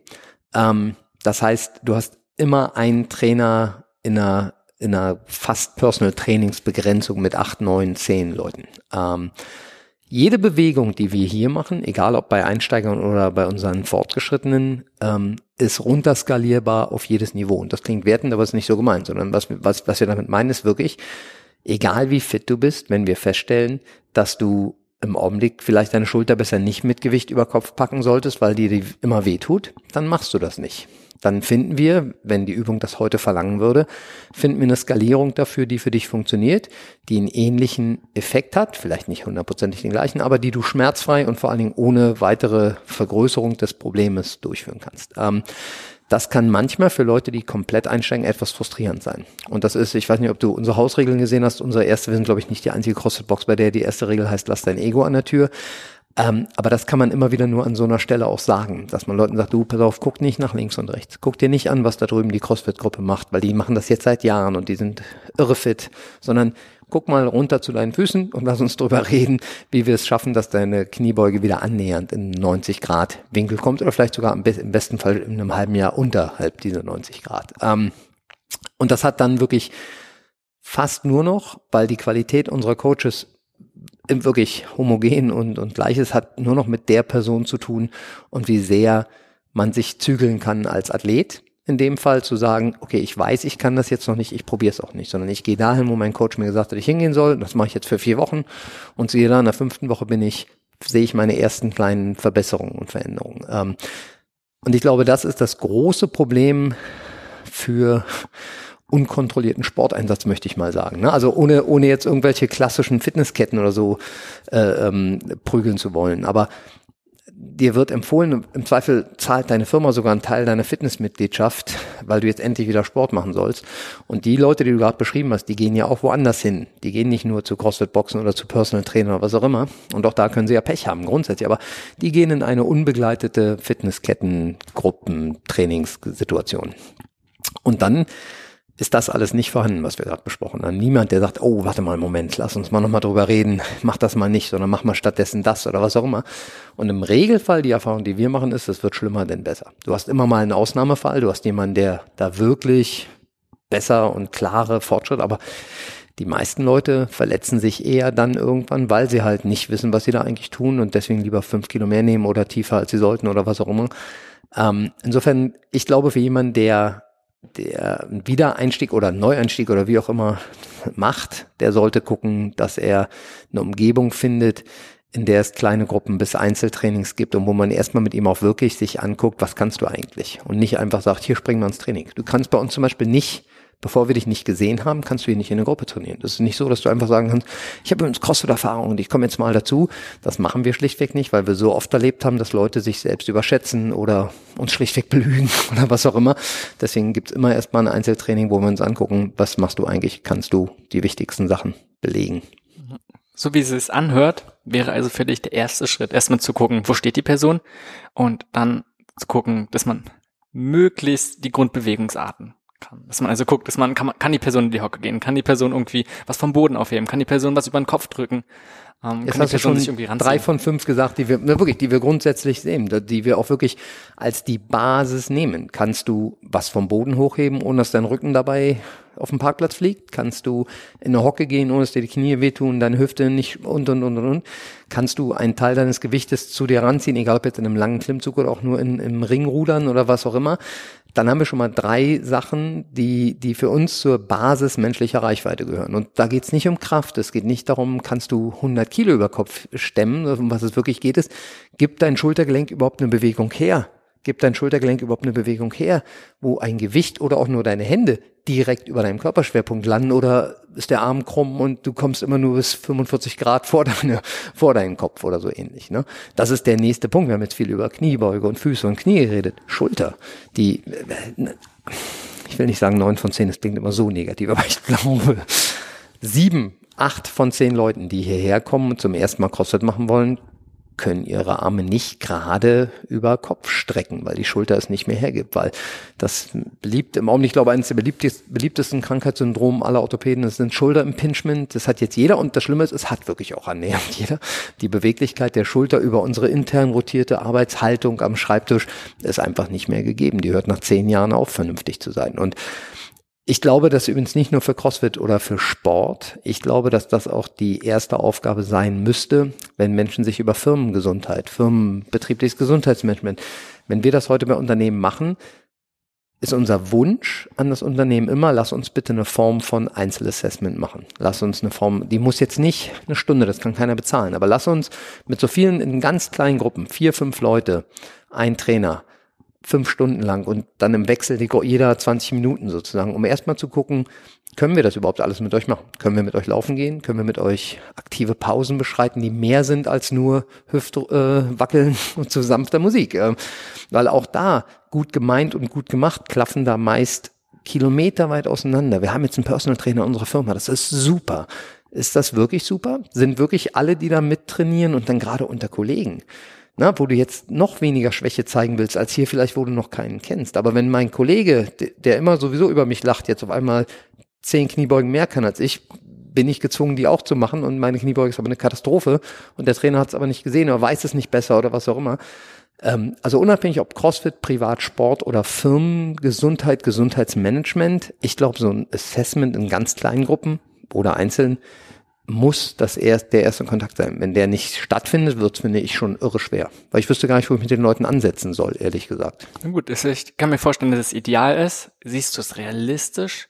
Ähm, ja, aber man muss auch mal, nee. mal gucken. Und letztendlich kannst du es genauso sagen, generell mit im Gesundheitswesen. Weil auch da wäre es, jeder hat enorm viel Zeit. Ähm, ein Arzt kann sich sehr viel Zeit nehmen für die Person. Jeder hat eine persönliche Betreuung. Weißt du, die ganze Medizin kann so individualisiert werden wie möglich. Definitiv wäre das schön. Ähm, letztendlich ist es eine Kosten, ja, aber es ist eine ganz große Kostenfrage und klar kann man sagen, was alles schief läuft und schwer ist im Gesundheitssystem. Und da ist jede Menge auch was verbesserungsfähig wäre. Andererseits muss man da einfach gucken, dass es irgendwie ja, gut, ähm, also ich glaube, dass bezahlbar ist. Da gut, klar. Also äh, diese, die, das Auseinanderklaffen von der besten aller Welten zu alles ist schlecht. Da so ist es sicherlich nicht und so einfach ist es auch nicht. Aber wenn man und das ist, wir wissen, dass es irre schwer ist, weil wir das seit zehn Jahren bei Firmen versuchen und ein bisschen länger. Ähm, aber wenn man jemals auf jemanden trifft, der mal einen Test unternimmt, wo man Leuten erklärt, dass ja, du investierst jetzt hier 10.000 Euro, aber in zwei Jahren hat sich das definitiv akklimatisiert und sogar bezahlt gemacht, weil deine Krankschreibung zurückgehen wird, etc. pp. Dann kann man belegen, dass sowas funktioniert. Das Problem sind einfach nur ähm, die, die Realität, die, das Problem ist die Realität, dass ähm, die Leute keine zwei Jahre Zeitfenster haben wollen, sondern es ist wie übrigens, das schließt sich auch der Kreis zu uns und Leuten, die herkommen, wie das ist gar keine Frage von Firma oder Sportler alle wollen die Wunderpille. Alle wollen den Quickfix. Jeder sagt, ich brauche die 30 Tage Shredding-Diät, die mich am Strand gut aussehen lässt. Und das ist, und, und schlichtweg, die gibt es nicht. Die gibt es schon nicht, wenn du ein Jahr keinen Sport gemacht hast. Die gibt es aber schon gar nicht, wenn du 10 oder 15 Jahre keinen Sport gemacht hast. Das ist ein unfassbar hässlicher, harter, steiniger Weg, dich wieder besser zu bewegen. Und ich rede noch nicht von besser auszusehen, weil das ist nochmal on top sozusagen das Thema Ernährung, Schlaf und, und, und, und, und. Ähm, das, das ist irre, irre schwer. Aber an die Firmen gerichtet kann ich wirklich nur sagen, dann spart auch das Alibi-Geld. Und das sagen wir mittlerweile. Nicht dafür, weil wir so viel Geld haben, dass es egal ist. Wir brauchen die Aufträge. Aber wir, wir sind wirklich mittlerweile so weit, dass wir zu oft frustriert waren, dass wir mit Leuten irgendwelche Gesundheitstage organisiert haben. Und dann haben wir dann einen Tag, haben wir den Leuten tolle Sachen erzählt. Das war alles super. Und dann haben wir uns ein Jahr nicht mehr gesehen. Und ein Jahr später ist der nächste Gesundheitstag. Und die gleichen Leute sagen dir, naja, ich wusste ja nicht, was ich machen soll. Wir haben euch ja nur einmal für eine Stunde hier gesehen. Und dann ehrlich, Leute, dann spart das Geld und macht irgendeine Motivationsveranstaltung, geht kegeln, ist mir völlig egal, weil das ist wirklich nur Alibi. Also entweder du hast eine strukturierte Form von Bild im Kopf, wie du dein Gesundheitsmanagement in den Jahren verbessert. Und das ist übrigens wirklich, das sind nur andere Worte, aber das gleiche gilt für dich als Einzelsportler, hier Athlet. Wenn du ein strukturiertes Training willst für ein Jahr, dann bist du hier richtig. Wenn du für dich selber sagst, dass du zwei, drei, vier, fünf, egal wie oft, mal die Woche zu diesem Training gekommen wirst, dann bist du hier richtig und dann wirst du nach einem Jahr erhebliche Fortschritte haben. Wenn du zum CrossFit willst, weil gerade alle machen, und du sagst, ja, neben meinem Spinning und weiß ich nicht, was ich noch mache, gehe ich jetzt einmal die Woche zum CrossFit, dann kannst du zwar gerne herkommen, und das klingt jetzt total blöd, aber dann sind wir im Zweifel nicht der richtige Laden für dich, weil, weil das für uns nicht, das sind nicht die Leute, und so geht's uns bei den Firmen genauso, da schließt es sich wirklich. Das sind nicht die Leute, mit denen wir arbeiten wollen, klingt so explosiv, aber weil es uns wirklich frustriert, weil wir da keine Fortschritte. Wir wissen genau, wenn einer einmal die Woche kommt und dann ist Sommerurlaub und dann kommt er sechs und und und und und, dann steht er ein Jahr später hier und nichts hat sich verändert. Der kann vielleicht ein bisschen besser eine Kniebeuge grundsätzlich, aber es ist nicht wirklich eine ernste Veränderung. Und das Gleiche ist in der Firma. Wenn wir zwei Gesundheitstage machen oder einen zehn Wochen Kurs und dann sehen wir die Leute zwei Jahre nicht mehr, dann hast du einen von 100 Mitarbeitern, vielleicht übertrieben, zehn von 100 Mitarbeitern, die das so ernst genommen haben, dass sie es privat auch weitergemacht haben. Bei den anderen 90 fängst du zwei Jahre später wieder absolut bei Null an. Das ist, und insofern, ich glaube, es geht und ich glaube, es ist auch nicht völlig unrealistisch, aber es verlangt halt eine Form von Commitment. Entweder von dir, wenn du herkommst, oder von deinem Chef und von dir, weil dein Chef sagt, für ein Jahr lang bezahle ich jetzt diese Kurse, alles super, der kommt zu uns und zeigt uns, wie wir besser sitzen. Oh Gott, nein, lass mich nicht anfangen, wie wir, wie wir, ähm, wie wir uns besser bewegen können während der Arbeit etc. pp. Aber so ein, ja, wir müssen das ja machen, lass uns das mal dreimal machen, das versuchen wir möglichst nicht mehr zu. Es ist einfach zu frustrierend. Das ist hier nicht anders. Verstehe ich. Aber letztendlich sehen wir halt, ähm, ja, mit vielen verschiedenen Sachen. Und gerade geht es nur um Verhalten und eine Person, die erstmals gar nicht will, äh, ja klar, da ist man viel am Ackern, viel am Machen. Und eher die Leute, die bereit sind, die es selbst wollen, da ja, ist natürlich viel, viel leichter und auch der Erfolg. Aber lass uns mal kurz nochmal zu normalen oder ich sag mal zu einer typischen Person gehen, weil du hast gerade gesagt, wie wichtig es ist, dass man möglichst eine nahezu individuell erstmal eine Bestandsaufnahme hat. Nicht jeder wohnt in Berlin. nicht jeder hat ein, ja, kann hier einfach zum Beispiel herkommen. Was machen wir? Wie, wie findest du einen guten Ort? Wie findest du jemand, wo du sagst, ja, da hast du Vertrauen vielleicht auch, äh, und da ist die Expertise, sagst sehr, du bist gut aufgehoben. Oh je. Das ist die Million-Dollar-Frage, weil ich sie, glaube ich, nicht beantworten kann. Ähm, für uns wirkt das jetzt immer so leicht, weil wir hier sind für uns und ganz viele Leute hier rumrennen und ganz glücklich mit uns sind. Und so ist bei Firmen auch.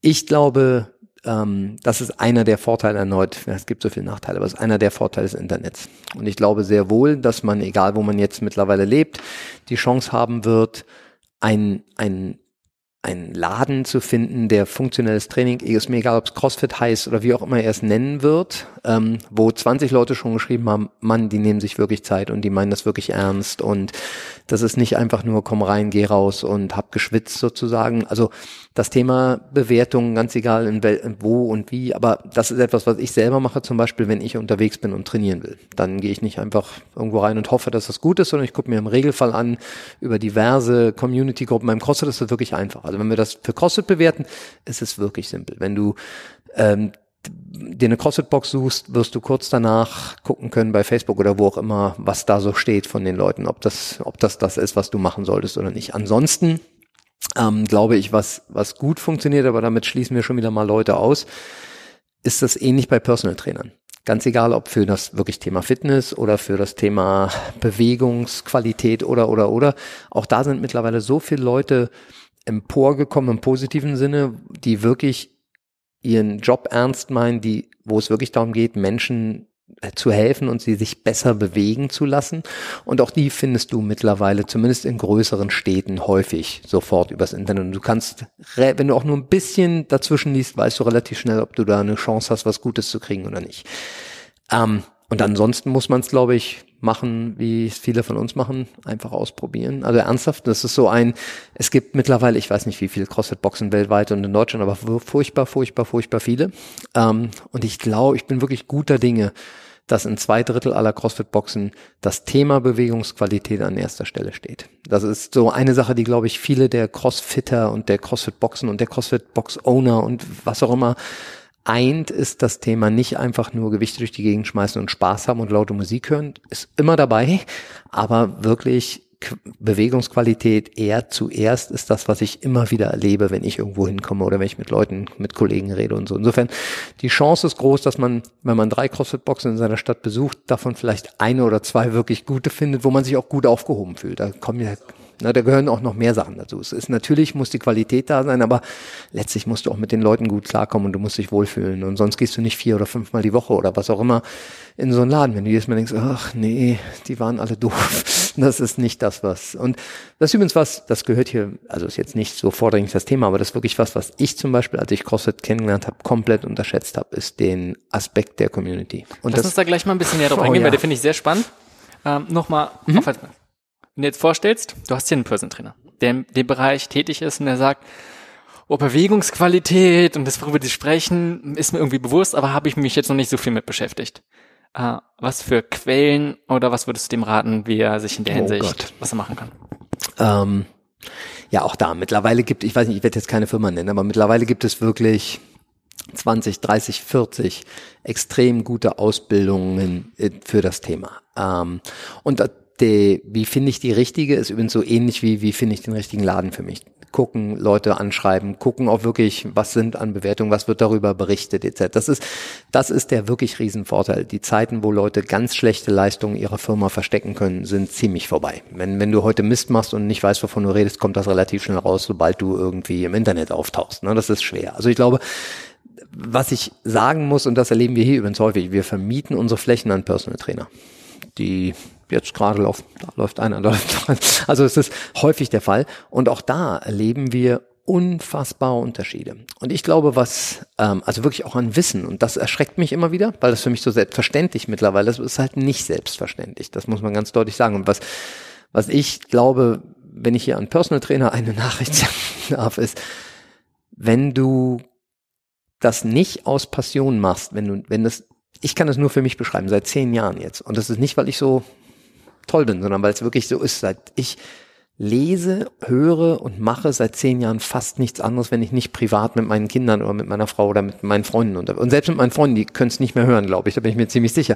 Aber jeden Tag, wirklich mehr oder weniger, mit Ausnahme von wenigen Tagen, jeden Tag, ich habe eine halbe Stunde Weg hierher und eine halbe Weg, Stunde Weg zurück und es gibt kaum einen Tag, an dem ich nicht mindestens eine Stunde Podcast zu irgendeinem meiner bevorzugten Themen.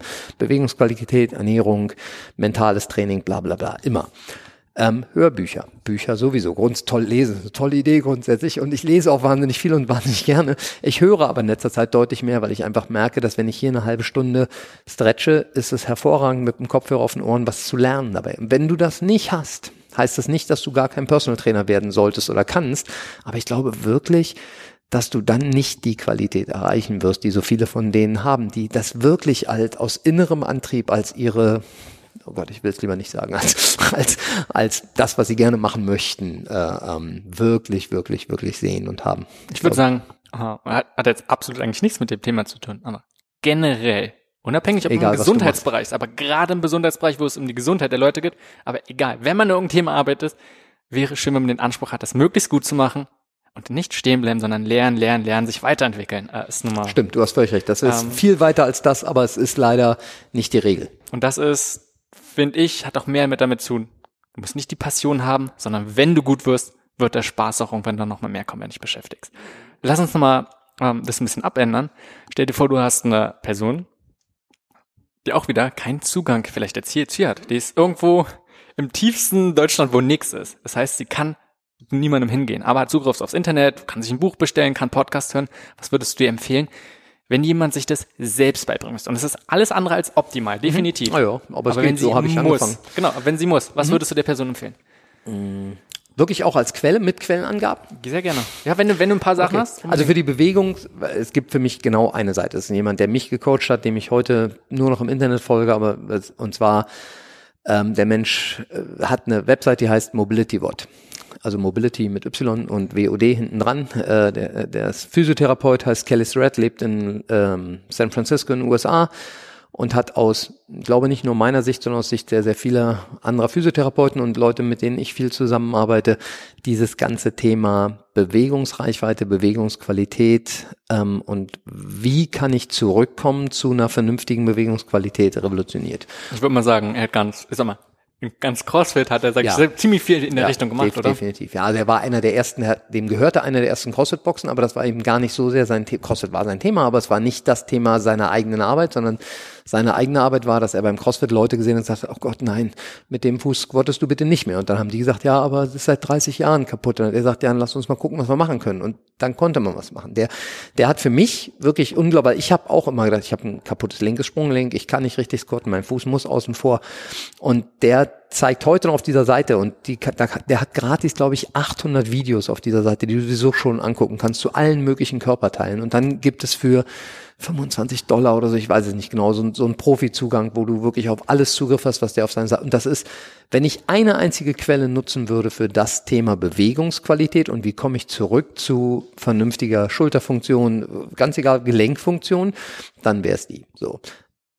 Um sowas herum gibt's aber mittlerweile 50 und ein paar, ne, so und und ich glaube, dass ansonsten nur ganz kurz zur Ergänzung. Ja wenn man halt kein Internet hat, weil, oh. weil du das erklärt hast, sind halt die Bücher. Na klar, der schlecht. Hat, der du hast ja jetzt schon gesagt, dass zum genau. Laufen hat er was, Sitzen ist das neue Rauchen. Genau, genau, alles, also. alles so. Und jetzt kommt gerade wieder ein neues, aber also äh, ich weiß nicht, ich lese, du lese immer nur in Englisch. Das heißt in Englisch Becoming a Supple Leopard. In, Wettergeschmeidiger Leopard. Das sollte man nicht sagen, finde ich, klingt schrecklich. ja, Nein, aber genau, die Bücher sind, ist jetzt die zweite, es gibt mittlerweile so eine zweite Ausgabe, so eine zweite Version, ist auch schon wieder zwei Jahre alt, aber ähm, wirklich bei uns hier stehen sie alle im Regal. Es ist eine Form von Bibel für viele unserer Athleten, weil der wirklich so banale Kleinigkeiten, die heute in jeder CrossFit-Box gemacht werden, wie mit einer Crossball deinen Fuß rollen. Das hat vor zehn Jahren keiner gemacht, bevor der Typ nicht gesagt hat, Leute, lasst uns mal drüber reden, warum dein, dein Sprunglenk sich so beschaden, bescheiden bewegt. Ne? So, also das wäre so der eine für das Thema, für das Thema Beweglichkeit und äh, ähm, Bewegungsqualität. Das ist übrigens auch wirklich etwas, der hat mich enorm inspiriert, immer und immer mehr darüber lernen zu wollen, weil das so simpel aussah und es auch so simpel ist am Ende des Tages. Du musst nur Geduld mitbringen. Es ist halt nichts, kein Quickfix. Es gibt erneut keine Pille und für niemanden eine Schnelllösung. Das Nummer eins. Nummer zwei, oh Gott, ich glaube keine Quellenangabe. Ich sag für alles, was, also der, der CrossFit.com-Seite kann man hervorragend folgen, finde ich. Die hat sich gerade erheblich verändert. Die ist weg von, wir machen nur noch Leistungstraining zu, alle Übungen werden jetzt gerade mit alten Menschen erklärt und Wasserflaschen statt Gewichten und so. Die gehen total zurück in die Gesundheitsrichtung gerade. Aber ähm, gerade die, die kleinen Snippets zum Thema Ernährung, zum Thema hormonelle Sachen und und und sind da mittlerweile wirklich unglaublich gut. Und es gibt jeden Tag ein Workout. Da sind wir bei so einem Thema, was sofort jeder machen könnte. Es gibt keine Ausrede, weil ich auf dem Land wohne und keine CrossFit-Box in der Nähe habe, weil die zeigen dir für jeden Tag der Woche entweder ein Workout oder ein Restday alle vier Tage, aber egal, dem du folgen könntest. Und so haben ganz viele Crossfitter angefangen, nicht so sehr in Deutschland, aber in den USA, mit ich mache das zu Hause in meiner Garage, mit irgendwas so annähernd wie dicht an diesen Workout. So ist das entstanden und das kann man heute noch. Die sind nach wie vor, wir nehmen relativ viele Tage von denen in unser Programming, weil das einfach klassisch und sehr, sehr gut gemacht ist. Das sind so zwei, denen man sofort folgen kann. Und ich glaube erneut, ähm, was ich für mich gelernt habe, ich habe, glaube ich, bis vor fünf Jahren, ach nee, reicht nicht, bis vor drei Jahren niemals bei YouTube reinguckt, nie. Und mittlerweile gucke ich praktisch kein Fernsehen mehr. Weil, ähm, auch da gibt's mittlerweile so wahnsinnig viele auf die Themen bezogene, wirklich gute, gute Fachkanäle, wo du innerhalb kürzester Zeit weißt, was eine gute Kniebeuge ausmacht. Oder egal, ich will nicht immer wieder zurück, aber oder auch wie Laufen funktionieren könnte oder oder oder. Also ähm, ich glaube, es gibt keine Ausrede mehr, es nicht zu tun, aber es ist halt deutlich schwerer auf dem Land alleine, als wenn du irgendwo hinkommen kannst, wo Leute dich mitnehmen und, und das relativ schnell auch eine Gruppe wird, wo du Leute magst und immer mit den gleichen Leuten mittags zusammen trainierst oder so. Aber Ausrede ist trotzdem nicht mehr. Ja, bin, also definitiv. Finde ich aber auch deswegen ganz gut, äh, denn auch ein großer Punkt ist, Leute kommen hierher, machen hier was und genauso ist natürlich auch gut, wenn die was zu Hause machen und einfach da Orientierung zu haben, was wir davor gesagt haben, nicht für Professionals, geht natürlich auch für normale Leute. Und klar, dass man nicht mega viel Zeit versteckt, aber ab und zu mal in einem Buch darüber äh, zu lesen, auch gerade über so grundlegende Sachen, da baut man sich einfach eine sehr, sehr gute Basis auf. Also wenn ich heute entscheiden müsste, was die ersten, also jetzt gar nicht bezogen auf ein Buch, aber wenn wir über Thematiken reden sozusagen, dann würde ich jedem, der eigentlich zum CrossFit will, empfehlen, erstmal kurz nachzulesen, wie man sich eigentlich ernähren sollte. Ähm, oder, oder wie viel man eigentlich schlafen sollte. Also wenn ich nur diese beiden, das ist ja wirklich, das ist so abgedroschen. Jeder redet mittlerweile die Basis und die Pyramide, ganz unten ist Ernährung und Schla und keiner kümmert sich drum.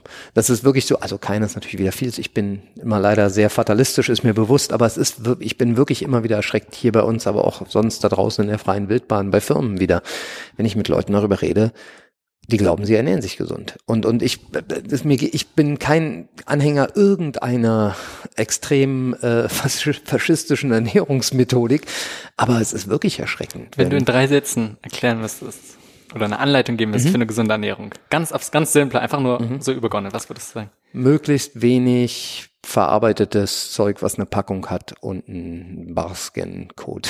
ähm, das ist wirklich Nummer eins. Wenn du und der nächste große, große Warnsatz wäre, folge keiner Ernährung, die dir sagt, sie ist die einzige, die super gesund ist. Und man, da gibt es so viele Lieblingsthemen, nicht weil ich nicht vegan bin, ich habe keinen Stress mit vegan, aber Leute vergleichen oder, oder verstehen eine vegane Ernährung immer als gesund. Und das ist kompletter Schwachsinn, weil Kartoffelchips und Cola ist vegan. Überhaupt gar kein Problem. Ich kann super gut vegan Müll essen das ist nicht gesund. Und, und wenn ich jetzt die beiden am weitesten, bei in vielen Köpfen vieler Menschen, die beiden am weitesten auseinanderdriftenden Ernährungsmethoden nehme, nämlich Paleo, also ganz viel Fleisch und, und vegan, nämlich gar nicht Tier, ne, dann sind die überhaupt nicht weit auseinander. Und da sind wir bei den drei Sätzen und den drei Sachen. Die Basis ist möglichst viel Gemüse, Punkt um. Die nächste Basis bei den Paleo-Leuten wäre dann Fleisch, Eier, was auch immer und ein bisschen Nüsse und Körner. Und das ist eben bei den Veganern nicht so. Aber die, die eigentliche Basis, möglichst viel unverarbeiteten Kram, von dem ich weiß, wo er herkommt. Und damit meine ich nicht dass ich das Schwein kannte, das wäre der Idealfall, aber das, das ist nicht realistisch. Aber was ich meine ist, weiß, wo ich herkomme, dass das nicht erst über Brasilien nach, ich weiß nicht wohin geflogen wurde. Und es muss eben keine Mango sein, sondern es tut es auch ein Apfel, wenn der gerade bei uns. Also möglichst dicht dran an der Saison, an deinem Wohnort und an dem, dass es möglichst durch wenig verarbeitende Hände bis gar nicht möglichst gegangen ist, wäre schon mal eine Riesenhilfe bei Ernährung. Was sind die größten Fehler oder Mythen, die du im Bereich nicht auf CrossFit, aber generell Fitness siehst? Fitness. Fitnesstraining, so. Oh je. Kannst du auf ähm, CrossFit beziehen nee, oder ein bisschen ausweiten, wie du nee, willst? Nee, die, die größten Mythen sind, dass es Trainingsarten gibt, die dich zweimal die Woche in 20 Minuten irre fit machen, weil sie Strom benutzen, oder? Das ist jetzt nur ein Beispiel, was mir sofort einfällt. Ist der, der größte Mythos, die größte Lüge, der größte Frustfaktor für alle Menschen, die ich kenne, die mit sowas jemals frustriert waren, sind nicht Trainings, sondern das Lügen von, wenn du das machst, siehst du so aus. Wenn du das machst, wirst du so fit. Wenn du das nicht mehr machst, wirst du so fit. Ähm, es, und, und der Satz, der Kernsatz, den wir hier und den wir draußen immer und immer wieder prägen, ist, es gibt keinen speziellen Trainingsplan, keine spezielle Trainingsmethodik, die dich innerhalb von 90 Tagen, ist ja so eine beliebte, oder 30 Tagen oder was auch immer, unglaublich fit macht. Wenn du Leute siehst, die in 90 Tagen 10 Kilo und 20 Prozent Körperfett verloren haben, dann hat das nichts mit der Trainingsmethodik zu tun, sondern die haben gehungert und haben dabei auch noch irgendwie ein bisschen Training gemacht. Aber also die, der größte Mythos, die größte Lüge und wirklich der größte Frustfaktor, aber natürlich auch einer der Faktoren, mit denen am meisten Leute unglaublich viel Geld verdienen, ist, es gibt dieses spezielle Programm, was nur auf dich zugeht. Ich habe gerade, ich sage den Namen nicht, ich habe gerade wieder von jemandem, der hier im Laden schon mal war, relativ junger, dynamischer Mann, ist jetzt nach eigenen Angaben einer der ähm, erfolgreichsten Ernährungsberater Deutschlands. Und ähm, wirklich durch Zufall. Der war irgendwann mal hier mit jemand anders, mit einem Trainer von uns, da fand ich den eigentlich ganz nett und fand auch die Ansätze ganz cool, äh, die er so brachte. Und dann habe ich vor ein paar Tagen gucke ich in meinen Facebook-Account und da taucht eine Werbung von ihm auf und ich drücke auf den Play-Knopf und denke, oh, guckst du mal, was der so erzählt. Und wenn jemand schon am Anfang sagt, und das hätte ich wirklich bei ihm nicht gedacht, wenn jemand schon am Anfang sagt, ähm, wenn du dieses Video bis zum Ende guckst, habe ich eine unfassbare Wahrheit und ein unfassbar mein Tipp, sofort ausschalten. Ich habe es nicht gemacht. Das Video dauerte 17 Minuten. Und alles, was der Typ gemacht hat, ist 17 Minuten lang von einer unglaublichen äh, Technik, die er dir beibringen wird, die dein Metabolismus und die Sachen, die du essen musst, damit dein Stoffwechsel explodiert. Und du, und das ist wirklich, das gibt es schlichtweg nicht. Und der größte, egal ob in Ernährung oder im Training, das ist ein ewig langer, unglaublich anstrengender Weg. Ich mache jetzt gerade keine Eigenwerbung, ist mir bewusst, aber, aber jeder, der was anderes sagt, belügt dich und will dein Geld. Das ist der Nummer eins Mythos. Wenn du sagst, machst keine Eigenwerbung. Also ja, ich bin total bei dir. Ähm, andererseits ist es natürlich verständlich, dass Leute sich, ähm, ich sag mal, ihre eigene, sich selbst verkaufen wollen und irgendwie musst du es ja anderen Leuten schmackhaft machen. Und was für einen Weg würdest du gehen, um zu sagen, um jemand zu motivieren und zu sagen, jemand, der so, unsicher ist und sagt, oh, es ist schwer, weil ihm zu sagen, das erste Jahr hast du kaum Erfolge und wenn du Glück hast, kannst du ein bisschen den Bewegungsradius verbessern, äh, ist nicht gerade attraktiv. Ich erkenne, ich erkenne den, ich erkenne den Unterschied. Und trotzdem, also du musst sicher, der hat Erfolge im ersten Jahr und das muss man auch offen und ehrlich von vornherein klar machen. Aber ich, äh, ich glaube, der, wenn du, wenn du Zeit hast und nicht dringend Geld brauchst, als Trainer, als Ladenbesitzer, als Unternehmer, als was auch immer, dann wird dir langfristig erheblich mehr Erfolg bringen, wenn du den Leuten gegenüber ehrlich bist und sagst, hey, die ersten drei Monate werden nicht witzig. Ähm, aber wenn du das durchstehst mit uns zusammen und mit den Leuten hier mit dir trainieren oder was auch immer, dann wirst du dann auf einmal feststellen nach drei Monaten, und wir haben wirklich, ich übertreibe nicht, wenn ich sage, hunderte solcher Fälle. Leute, die hierher gekommen, hunderte Leute, die herkommen sind, wo, wo auch wir hier, ich lief gerade einer vorbei, das Beispiel würde ich am liebsten erzählen, wo es gibt wirklich immer wieder Leute, wo wir so denken, oh nee, weißt das würden es nie sagen und, und wir sind, glaube ich, wirklich, aber wo du denkst, oh, das wird nichts, das wird ganz schlimm, das, der wird sich hier nicht wohlfühlen und Ganz oft, nicht immer, aber ganz oft liegst du völlig daneben und die Leute beißen sich durch diese ersten sechs Monate und drei Monate, was auch immer und, und sind ein Jahr später nicht nur extrem aktive und akzeptierte und, und Mitglieder dieser Community, sondern sind auch im Verhältnis zu dem, mit was sie anfingen, schweinefit. Sehen die dann alle immer aus wie Models am, nein, nicht mehr in der Nähe, weil da kommen nachher noch so viel andere Faktoren dazu. Aber, aber geht's denen besser? Können die sich besser bewegen? Hundertprozentig haben die weniger Schmerzen. Tausendprozentig. Gibt Sachen, wo die sagen, das konnte ich nie und jetzt lache ich drüber. Aber hundert, ne, so. Und mein Tipp ist wirklich, sei so ehrlich und authentisch wie möglich. Und wenn du das nicht sein kannst, dann überleg dir, ob du das richtige Business Model hast, weil das ist ja der nächste Punkt. Wenn du mit so einer Methodik, die du da anpreist, auf einen Schlag 500.000 Euro verdienst, weil Leute dir das glauben und dein Programm für 79 Euro kaufen, dann mag das ja auch in Ordnung sein. Das ist nicht jedermanns Sache und die Frage ist, wenn man sich beim Rasieren nicht im Spiegel betrachten mag, ob das gut ist. Aber ehrlich, ich bin auch nicht neidisch, wenn Leute das können und damit für zehn Jahre ausgesorgt. Herzlichen Glückwunsch Es ist nicht meins und ich würde mich nicht wohlfühlen. Und deswegen, ich glaube, wenn du langfristig mit deinem Laden, mit deinem Personal Training, mit deinem Brand, wenn man überhaupt darüber reden mag, in manchen Größen, ähm, erfolgreich sein willst, geht das nur, wenn du Leuten in die Augen gucken kannst, auch noch drei Monate später und sagen dann, hey, ich habe dir gesagt, das ist nicht nur witzig, aber guck dir mal an, wo du jetzt bist. Sechs Monate, was auch immer, drei Monate später. Also das heißt, von vornherein klarzustellen, dass es nicht easy und nicht leicht, halt ist für uns sogar wirklich eine Verpflichtung. Es gibt keinen, du wirst hier niemanden erleben, keinen Trainer, keinen Mitarbeiter am Counter oder was immer, der irgendwie sagt, ja, CrossFit, das ist easy und in drei Monaten siehst du aus wie Rich Froning. Das, das, das gibt's nicht, sondern offen und ehrlich sagen, hey, was wir machen ist, wir machen dich besser und du hast jetzt seit 20 Jahren nichts gemacht wir werden nicht 20 Jahre brauchen, aber wir schaffen es auch nicht in zwei Wochen. Ne? Das ist so ein bisschen meine Empfehlung, wenn du langfristig mit Leuten zusammenarbeiten willst. Und das ist der Grund, glaube ich, wirklich, dass wir hier Leute haben, die uns in den zweiten Laden jetzt seit sechseinhalb Jahren gefolgt sind und immer vier, fünf Mal die Woche hier sind. Und das ist nicht nur, weil wir alle so unglaublich nett sind, das ist, glaube ich, bei mir sogar ganz oft gar nicht der Fall, sondern ich glaube, das kann, wird jeder bestätigen, sondern weil die das Gefühl haben, dass das, was wir ihnen gesagt haben, immer gestimmt hat. Und wenn wir, und weil wir auch, also finde ich noch einen ganz wichtigen Punkt, boah, jetzt bin ich schon so weit drin, ähm, wenn es mal nicht gestimmt hat, du glaubst nicht, wie oft die schon gehört haben, zwei Jahre später, Leute, ich muss euch jetzt mal sagen, das, was wir da mit dem Lacrosse, ganz egal, ist kompletter Schwachsinn. Es gibt gerade eine neue Studie und der glaube ich total und die sagt, macht das bloß nicht. Und das würden wir immer und immer wieder so machen. Einfach weil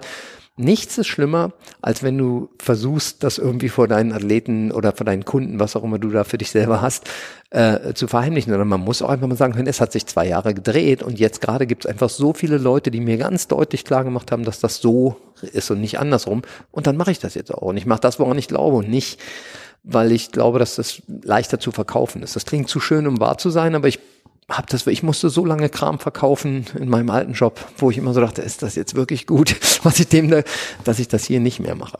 Und ich denke, langfristig, wie du schon, es kommt immer darauf an, was denkt man, kurzfristig oder langfristig, warum macht man es überhaupt? Und letztendlich, jeder ist auch nur ein Mensch. Und damals hast du in dem besten Wissen, was du hattest, agiert. Und du lernst genauso dazu. Und das ist eher eine, ist eher ein Zeichen, finde ich, ähm, was dann zeigt, ey, man entwickelt sich weiter, man lernt dazu und ist dann auch bereit, im Fehler einzugestehen. Und es gehört genau zu jedem guten Trainer einfach dazu. Und ich bin davon überzeugt, um auf diesen Ernährungsberater zurückzukommen, weil ich den wirklich auch nicht bashen will. Aber, ja, aber, alles vor dem Aber ist Quatsch, habe ich mal gelernt. Äh, ich bin davon überzeugt, dass der mit diesem Programm, was ich da bei Facebook gesehen habe, mehr Geld verdient hat bereits, als wir hier in einem Jahr in dem Land verdienen. Meine ich völlig ernst, weil da auch weniger Kosten und, und aber, also hundertprozentig. Und ehrlich, glaubst du oder glaubst du nicht, ich bin nicht besonders geldgeil, ich fahre kein tolles Auto, ist alles prima, ich brauche das auch nicht, aber äh, ich möchte trotz, ich möchte nicht tauschen äh, und ich möchte auch nicht Sachen verkaufen müssen, äh, die, wo ich nicht wirklich das Gefühl habe, aus vollem, aus voller Überzeugung, das hilft dem da jetzt gerade. Und, und gerade im, beim Thema Ernährung noch fast viel mehr, obwohl beim Thema Sport auch. Und ich bin ja nicht immun dagegen. Es ist ja nicht so, dass ich immer gewusst habe, dass das alles. Ich habe jeden Schwachsinn gekauft über zehn Jahre, der mir. Ich habe so einen Gürtel, der irgendwie Elektro an meinem Bauch und dafür sorgt, dass ich einen Six. Habe ich jemals einen Six? Nee, habe ich nicht. Immer wenn ich halbwegs erträglich aussah, hatte das mit Ernährung, Sport und vier Monaten Arbeit zu tun und nicht mit, hey, der Gürtel macht rüttelt und der rüttelt jetzt dein Fett. Und ich habe es alles. Meine Frau könnte Geschichten erzählen und mein Keller könnte Geschichten erzählen. Die sind jenseits von Gut und Böse. Also insofern, es ist ja nicht so, ich das immer alles schon gewusst habe. Im Gegenteil, ich habe nur irgendwann, und ich bin fast Mitte 50, ich habe irgendwann gelernt, dass es den Quickfix nicht gibt und dass es nichts, nichts, nichts. Wir hatten ein eigenes EMS-Gerät und zwar ein professionell, nicht irgend so ein, wir hatten zwei EMS-Geräte wie so ein richtiges EMS-Studio, weil wir eine Zeit lang gedacht haben, das ist cool und gut und würde, und irgendwann haben wir festgestellt, das ist alles Quatsch. Und wenn Leute dir erzählen, 20 Minuten pro Session zweimal die Woche, mach dich zu dem, was du auf den Bildern siehst, verlass sofort schreiend den Laden, aber spuck noch mal gegen die Scheibe vorher. Also es ist, was ist einfach schlichtweg ein Versuch, dein Geld zu bekommen und nicht dir zu helfen. Das was ich immer gut finde auch, ähm, und es passt zu dem, was du gesagt hast, ist nochmal zu gucken, was, wie geht's denn den anderen Leuten? Was erzählen die anderen Leute, die vielleicht schon länger da sind? Und das ist, glaube ich, eine gute Überleitung nochmal zu diesem Community-Aspekt, mhm. der, mhm. ich sag mal, generell bei CrossFit, der sind, äh, eine sehr große Rolle spielt und wo gesagt hast, hier auch. Und ich glaube, dieser Aspekt ist nochmal sehr, sehr wichtig. Und da würde mich deine Meinung interessieren, für jemanden, dass man noch länger dabei behält. Es ist, ja, man, ne, man kommt ja immer die Frage, Trainingssystem kann gut sein, man muss es auch machen. Ist, alles ist ja nur so gut, wie man es macht und genauso wie die Ernährung. Und auch wenn es dann halt nicht ganz so motivierend ist, zu sagen, um, es ist erstmal viel, viel Arbeit. Ne, bei manchen ist es ja völlig ja. in Ordnung, die können ja. sich auch daran orientieren, ist einfach einen Support zu haben, der ihn auffängt. Und das macht Trainer ganz klar aus, aber auch andere Leute. Und ich denke einfach, dass ein wesentlicher Aspekt auch von CrossFit ist. Ich glaube, das ist eine der Haupt äh, Erfolgssachen von CrossFit. Und wenn du mir das vor zehn Jahren gesagt hätte ich dich ausgelacht. Und ich hätte dich besonders ausgelacht in Bezug auf Deutschland. Ähm, weil Fitness, Gesundheitsfitness, Gesundheitssport in Deutschland hatte nie was mit Community zu tun. Das war ja immer mit Leute gehen anonym irgendwo hin und trainieren. So und ähm, als ich CrossFit kennengelernt habe, ist das das erste. Ich habe in San Diego mein erstes Training gehabt und der Besitzer von von Invictus CJ Martin hat nach, nee, ich mit, irgendwann mal, weil ich so begeistert von dem war, was die da machen, gesagt, boah, das ist cool, das gibt glaube ich in Deutschland noch gar nicht, gab es eben schon, aber ich habe es nie verfolgt. Ähm, äh, boah, das, das glaube ich wäre eine coole Nummer. Und dann hat er nur gesagt, Olaf, wenn du das jemals machst, wenn du jemals, also erstmal mach das, das ist das Beste, was du machen kannst, das ist die tollste Beschäftigung, die man, der man folgen kann, mit der man Geld verdienen könnte, theoretisch. Wenn du das machst, unterschätzt den Community-Aspekt nicht. Dein Gym wird nur so gut wachsen, wie deine Community gut ist. Und da habe ich gesagt, Alter, das ist kompletter Schwachsinn in Deutschland. Niemals. Kein Mensch interessiert das Community. Das ist ehrlich, die gehen, kommen trainieren und gehen wieder. Wenn die sich Hallo in der Umkleidekabine sagen, wäre das schon sozusagen Community-Aspekt. Und das habe ich sowas von unterschätzt. Und das klingt fast zu so schön, um wahr zu sein. Aber wir haben es wirklich, die Dana, eine Kollegin von mir, die folgt mir von Firma zu Firma, der arbeite ich jetzt seit 18 Jahren zusammen. Wir haben gerade vor ein paar Tagen wieder darüber gesprochen, wie lustig das war, weil die hat auch da mit mir die ersten Trainings Trainings mitgemacht mit drei, vier Leuten. Keiner von denen kannte sich.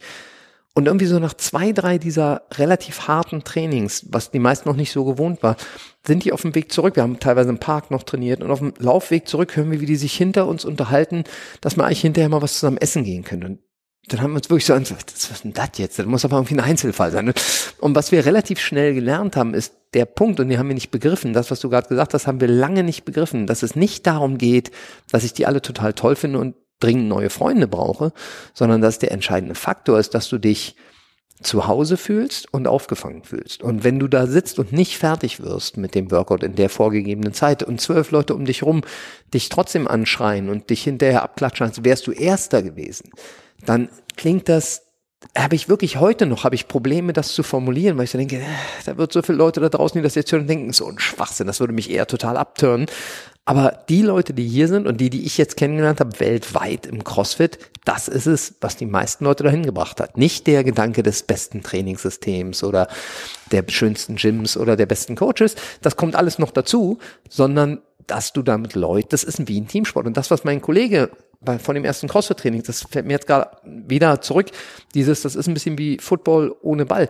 Das ist es wirklich. Was ist ein Teamsport? Du machst das Ding für dich alleine und wenn du fertig bist, hilfst du dem neben dir, indem du ihn anschreist, er soll gefälligst wieder aufstehen oder was auch immer mittlerweile dir und umgekehrt wenn. Und es ist wirklich so. Wir hatten jetzt gerade die CrossFit Open, die Games Open. Das ist so eine inoffizielle Ausscheidung für die Games. Völlig albern. Kein Mensch von uns kommt zu den Games, aber die wird weltweit durchgeführt und an dem Wochenende machen, weiß ich nicht, 150.000 Leute das gleiche Workout. Die Profis genau wie ich. Und ähm, es war wieder so im jetzt sechsten Jahr oder so, dass hier 40, 50, 60 Leute da mitmachen und dass die letzten mehr Applaus kriegen als die ersten de facto. Nicht nur, weil schon alle fertig sind, sondern weil es wirklich dieses, was hier, was so viel mehr zählt dabei ist, dass du bis zum Schluss gekämpft hast und ob du das Gewicht geschafft hast oder die Zeit oder was auch immer oder nicht, aber du hast nicht aufgehört, sondern du hast getragen von der Stimmung, von den Leuten, von der Musik bis zum Schluss gekämpft in deinem kleinen Maße, was auch immer dir zur Verfügung stand.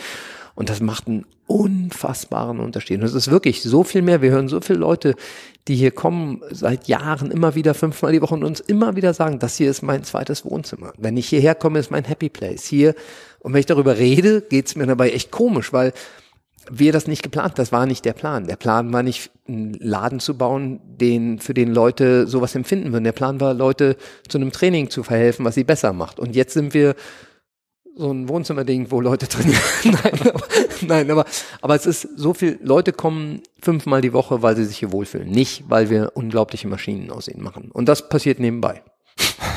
Herzlichen Glückwunsch. Wenn du mal zurückdenkst, über die ganzen Jahre, und jetzt vielleicht hier den zweiten Standort oder wo du generell angefangen hast. Und jetzt auch nochmal wieder diesen Community-Aspekt. Da hast du sicherlich sehr, sehr viel gelernt. Was sind für dich so die Kernelemente, was diese Community ausmacht? Jetzt bei dir, alleine hier in dem Studio, deine Erfahrung. Mm, dass wenn du wenn du einen wichtigen Satz, eine, eine Reihe von wichtigen Regeln für dich selber in deinem Laden, in meinem Fall ich, festlegst, von denen du sagst, das sind Sachen, die möchte ich unbedingt haben, die gehören für mich dazu. Und bei uns gibt es ein ganz simples Beispiel und das ist ein bisschen verwässert, aber zum Glück nicht komplett. Das ist das Beispiel, jeden grüßen, den man trifft oder sich vorstellen, wenn man nicht kennt. Und der, das ist wirklich, das hat den Unterschied vom ersten Tag an gemacht. Wir haben hier ein Mitglied, ich sage wieder keine Namen, die ist vom ersten Mädel, die ist vom ersten Tag an bei uns. Noch heute, und hier sind mittlerweile fünf, sechs, siebenhundert Leute, also es ist nicht mehr wie früher. Noch heute, wenn die in die Umkleidekabine kommt und da steht ein Mädel, was sie nicht kennt, geht sie hin und sagt, hey, ich bin übrigens piep, piep, piep, wer bist du? Dich habe ich hier noch nie gesehen. Früher hat die in Klassen, wo wir vorher im Kreis stehen und das Workout durchsprechen und so, geguckt und wenn sie jemand nicht kann, sagt, du, dich kenne ich überhaupt nicht. Ich bin übrigens piep, piep, wer bist du denn so? Ähm, das hat sich ein bisschen aufgrund der Menge der Leute verändert sozusagen, aber im Groben ist es gleich geblieben. Wir rufen Leute zurück, die an uns vorbeilaufen und nicht Hallo sagen. Sag mal, äh, ich kenne nicht, sagst mir deinen Namen nochmal, also weil, weil das so und dieser Punkt an für sich selber Regeln, das klingt so deutsch, aber wirklich Regeln festzulegen, bei denen du dich wohlfühlst und du das Gefühl hast, dass gleichgesinnte Leute sich auch wohlfühlen würden und bei denen nicht nachzulassen, weil das ist das, was ganz schnell geht. Ne? Du kannst mit noch so tollen Ansätzen und Vorsätzen und anfangen und dann wird es irgendwann mehr und mehr und Leute, es verwässert immer mehr und du hast weder die Energie noch vielleicht auch, weiß ich nicht, teilweise auch den, den, wirklich den Willen zu sagen, nee, ich glaube, dass es daran scheitern könnte. Und das ist etwas, was wir hier vom ersten Tag auch allen neuen Coaches und Mitarbeitern immer und immer wieder versucht haben einzuprügeln, dass es, also wirklich einzuprügeln, dass es nicht darum geht, ob du jetzt höflich guten Tag sagst, das ist, gehört zwar dazu, aber es ist nicht der Punkt ist, wenn du es nicht machst, hat die Person, die da reinkommt, eine andere Customer Experience als die ersten 100 über die ersten. Und wir glauben, dass, dass unser Erfolg maßgeblich damit zusammenhängt und hing, ähm, dass wir genau das lin relativ linear beibehalten haben. Und nochmal, es verwässert und wir haben jetzt gerade wirklich, wir haben vor vier Wochen, glaube ich, ähm, zusammengesessen und haben uns überlegt, was so die Punkte sind mit allen und wir haben dafür auch ein paar Kunden dazu genommen, die schon lange bei uns sind und gesagt, was ist aus eurer Sicht das, was sich am meisten verändert hat, negativ? Positiv gerne auch, aber vor allen Dingen negativ, weil ich sage positiv, das läuft so prima, aber was haben, machen wir nicht mehr so, wie wir es vor fünf Jahren gemacht haben? Ähm, und da gab es mehr Punkte, als wir gehofft haben, ehrlich gesagt, meist aber eher harmlos und klein. Und das sind die Sachen, die wir jetzt zum ersten fünften, wir haben eine Reihe, wir haben neuen Mitarbeiter eingestellt, extra wirklich weil wir festgestellt haben, das fehlt uns sonst, ähm, wo wir jetzt wieder zurückgehen werden zu unseren Basisgeschehen, nochmal deutlich mehr zu unserem Basis. Weißt du, woran mich erinnert? Du hast von Regeln gesprochen. Oh ja.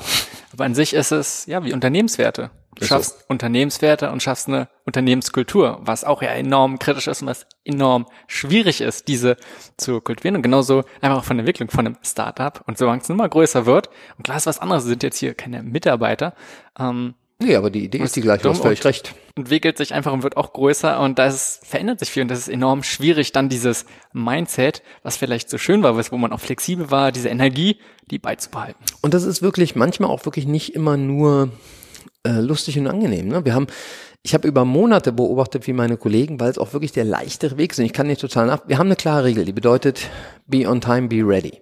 Das heißt, wenn die Klasse um 17 Uhr beginnt, dann beginnt die um 17 Uhr. Unsere Uhr zählt. 17 Uhr eins und du kommst dazu auf die Fläche, dann bedeutet die ganze Gruppe macht 10 Burpees. Nicht du als zu spät komme, sondern die ganze Gruppe. Ähm, das ist nicht immer nur fröhlich. Das findet nicht jeder cool. So. Wenn du es aber gar nicht mehr machst, und wir haben das über ein paar Monate dann verschleppt, ich weniger ehrlich gesagt, ohne weil, sondern weil es meine Regel war sozusagen, aber ich habe es immer wieder erlebt und haben auch, dann dann passiert einfach, dass immer mehr Leute zu spät kommen. Und was es am Ende des Tages ist, und es klingt jetzt super kleinig und arschig, aber pff, das, das ist eine Frage von Respekt. Und zwar nicht nur mir gegenüber, sondern auch den anderen elf Leuten, die da auf dich warten müssen, beziehungsweise jetzt den ganzen Kram nochmal hören müssen, wenn du zwei Minuten zu spät kommst. Ich muss es dir dringend auch erklären. Ähm, jetzt sind wir soweit, dass wir es nicht nur wieder alle machen, sondern wir gehen sogar einen Schritt weiter und bei jedem Burpee ruft die Gruppe Danke und den Namen dessen, der zu spät gekommen ist. Na, und, und, jetzt ist es übrigens schon wieder fast witzig. Jetzt sind wir wieder an so einem Punkt angekommen, wo, wo die Leute am Ende darüber lachen können und wir auch die Person als Trainer abklatschen, der jetzt da derjenige war, der. Aber äh, und, und was wozu führt es? Dass deutlich Leute weniger zu spät kommen. Und wenn sie zu spät kommen, rufen sie jetzt an. Und wir haben eine klare Regel, wenn gesagt, wenn du anrufst, dann ist das höflich und respektvoll. Wenn du mir sagst, ich stehe im Stau, es wird nichts, ich komme drei Minuten zu spät, dann kommst du drei Minuten zu spät und keiner muss Burpees machen, alles super. Aber das, das ist wirklich ein, ein simples Ding, aber in diesem Rahmen und bezogen auf Unternehmenskultur, die, als wir die Regeln aufgestellt haben, haben wir das nie so betrachtet. Aber heute, zurückblickend auf diese zehn Regeln, die wir da haben, sind die alle zehn ein ganz entscheidender Bestandteil der Kultur und damit unseres Erfolges gewesen. 100 Prozent sind sie, nicht nur gewesen. Genau. Oh ja. ist nicht immer nur lustig. das glaube ich sehr gerne. Lass uns noch mal ein bisschen wieder zurückkommen zu, was jemand selbst mhm. für sich tun kann. Oh ja. Wenn jemand täglich nur 30 Minuten Zeit hätte, etwas für seine Gesundheit zu tun, nicht nur fit ist, sondern generell Gesundheit, was würdest du der Person raten? 30 Minuten jeden Tag, koch vor für heute und morgen. Ja, also ich glaube, ähm, bezogen auf mich selbst und auf jeden, mit dem ich da draußen arbeite, ähm, ab einem gewissen Alter, und das ist circa 25 bei den meisten Leuten, kannst du keine schlechte Ernährung mehr wegtrainieren. Es geht einfach nicht mehr. Und ich rede wieder nicht von Optik. Mir ist deine Physiologie fast egal. Mir ist egal, ob du einen Bauch hast oder nicht oder um was es wirklich geht, ist, je schlechter deine Ernährung, desto schlechter dein Gesamtbild. Wir haben vorhin darüber gesprochen, nur sitzen und das Kopf und nicht, und das, und das schlägt genau in die gleiche Sparte. Wenn deine Ernährung eher schlecht auf der schlechten Seite ist, ist die Chance groß, dass alles andere auch eher auf die schlechte Seite wandert. Ähm, das heißt, für, bei 30 Minuten ähm, würde ich wirklich sagen, 30 Minuten jeden Tag reicht locker aus, locker aus, um für den Tag oder vielleicht sogar für den nächsten noch mit äh, dafür zu sorgen, dass ich genug zu essen habe und auch schon vorbereitet habe, was ich vielleicht nur noch mal in den Ofen, in die Pfanne oder in die Mikrowelle. Ist mir übrigens wirklich egal, solange du wusstest, äh, was du da gemacht hast und nichts aus irgendeiner Packung rausschüttest, wenn du merkst, oh Gott, jetzt habe ich Hunger. Ne, so, ähm, das ist ein, das ist die Nummer eins für mich. Ähm, darf ich Nummer zwei und drei noch machen? Ja sind aber schon 30 Minuten um. Äh, ähm, das nächste wäre 30 Minuten früher aufhören, Fernsehen zu gucken, Videospiele zu spielen oder auf dein Handy zu starren. Und erneut, ich bin der Rufer und ich bin schlecht darin. Das ist wirklich nichts von dem, was ich sage, mach, also, und mein Lieblingssatz eines meiner Coaches ist wirklich, mach, was ich dir sage, mach nicht, was ich tue. Das, ich glaube, ich bin nicht so mies, aber ein paar Sachen funktionieren bei mir nicht. Das ist eine, die mir schwerfällt, aber Je mehr ich darüber lerne, je mehr ich darüber lese, je mehr Studien ich mir anschaue zu dem Thema, was das blaue Licht mit deinem Kopf macht, wenn du es kurz vorm Schlafengehen noch benutzt, ähm, unabhängig davon, ob du denkst, du schläfst super gut, das hat nicht immer was zu sagen. Das wäre der nächste große Schritt. Und ich weiß nicht, ob, ob das damit zu auffällig wird, aber bisher kam Bewegung nicht vor. Und die ist mir irre wichtig, aber ich glaube, wenn Leute wirklich nur eine Sache ändern könnten, dann sollten sie als erstes an ihrem, an ihrer Ernährung arbeiten. Wenn sie zwei Sachen ändern könnten, sollten sie sieben bis acht Stunden schlafen und möglichst zwei Stunden vorm Einschlafen nicht mehr Fernsehen geguckt haben oder egal was für ein blaues Licht, übrigens für jeden, der es nicht weiß, ne, jedes Licht am Computerscreen, iPad oder was auch immer ist ein blaues Licht. Ähm, und kauft euch keine orangefarbene Sonnenbrille und guckt dann Fernsehen. Ah, sieht's scheiße aus.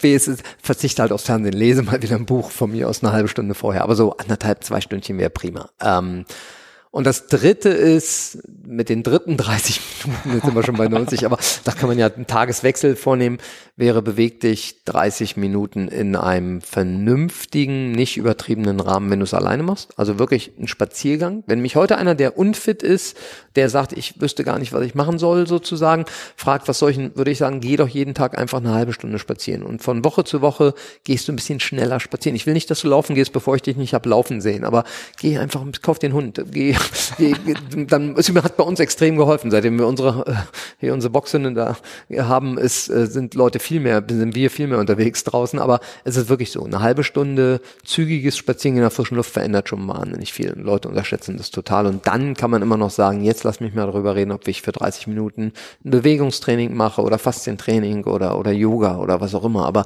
so eine Basis wäre, ist besser, schlaf mehr und beweg dich moderat und ruhig, ohne Intensität, ohne Gewicht, ohne, ich merke gerade, ich spreche wieder komplett gegen meinen eigenen Laden, aber wenn du auf dem Land lebst und nicht zu uns kommen kannst, dann ist das sozusagen aber ich finde es gut, weil letztendlich auch, was du erstmal sagst, sind ja so, du sprichst viel von Prinzipien und nicht genau, weißt du, so muss es sein, genau so muss es einsehen, sondern es geht erstmal darum, was ist für den Menschen gut.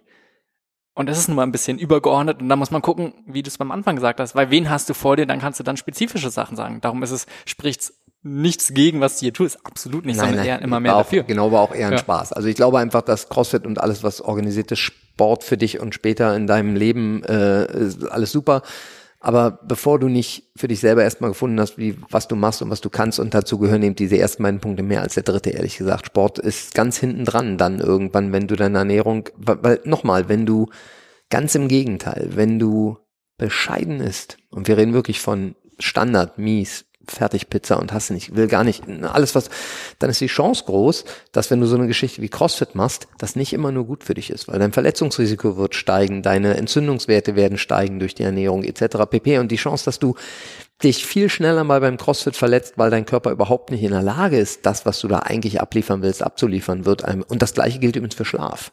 Ne?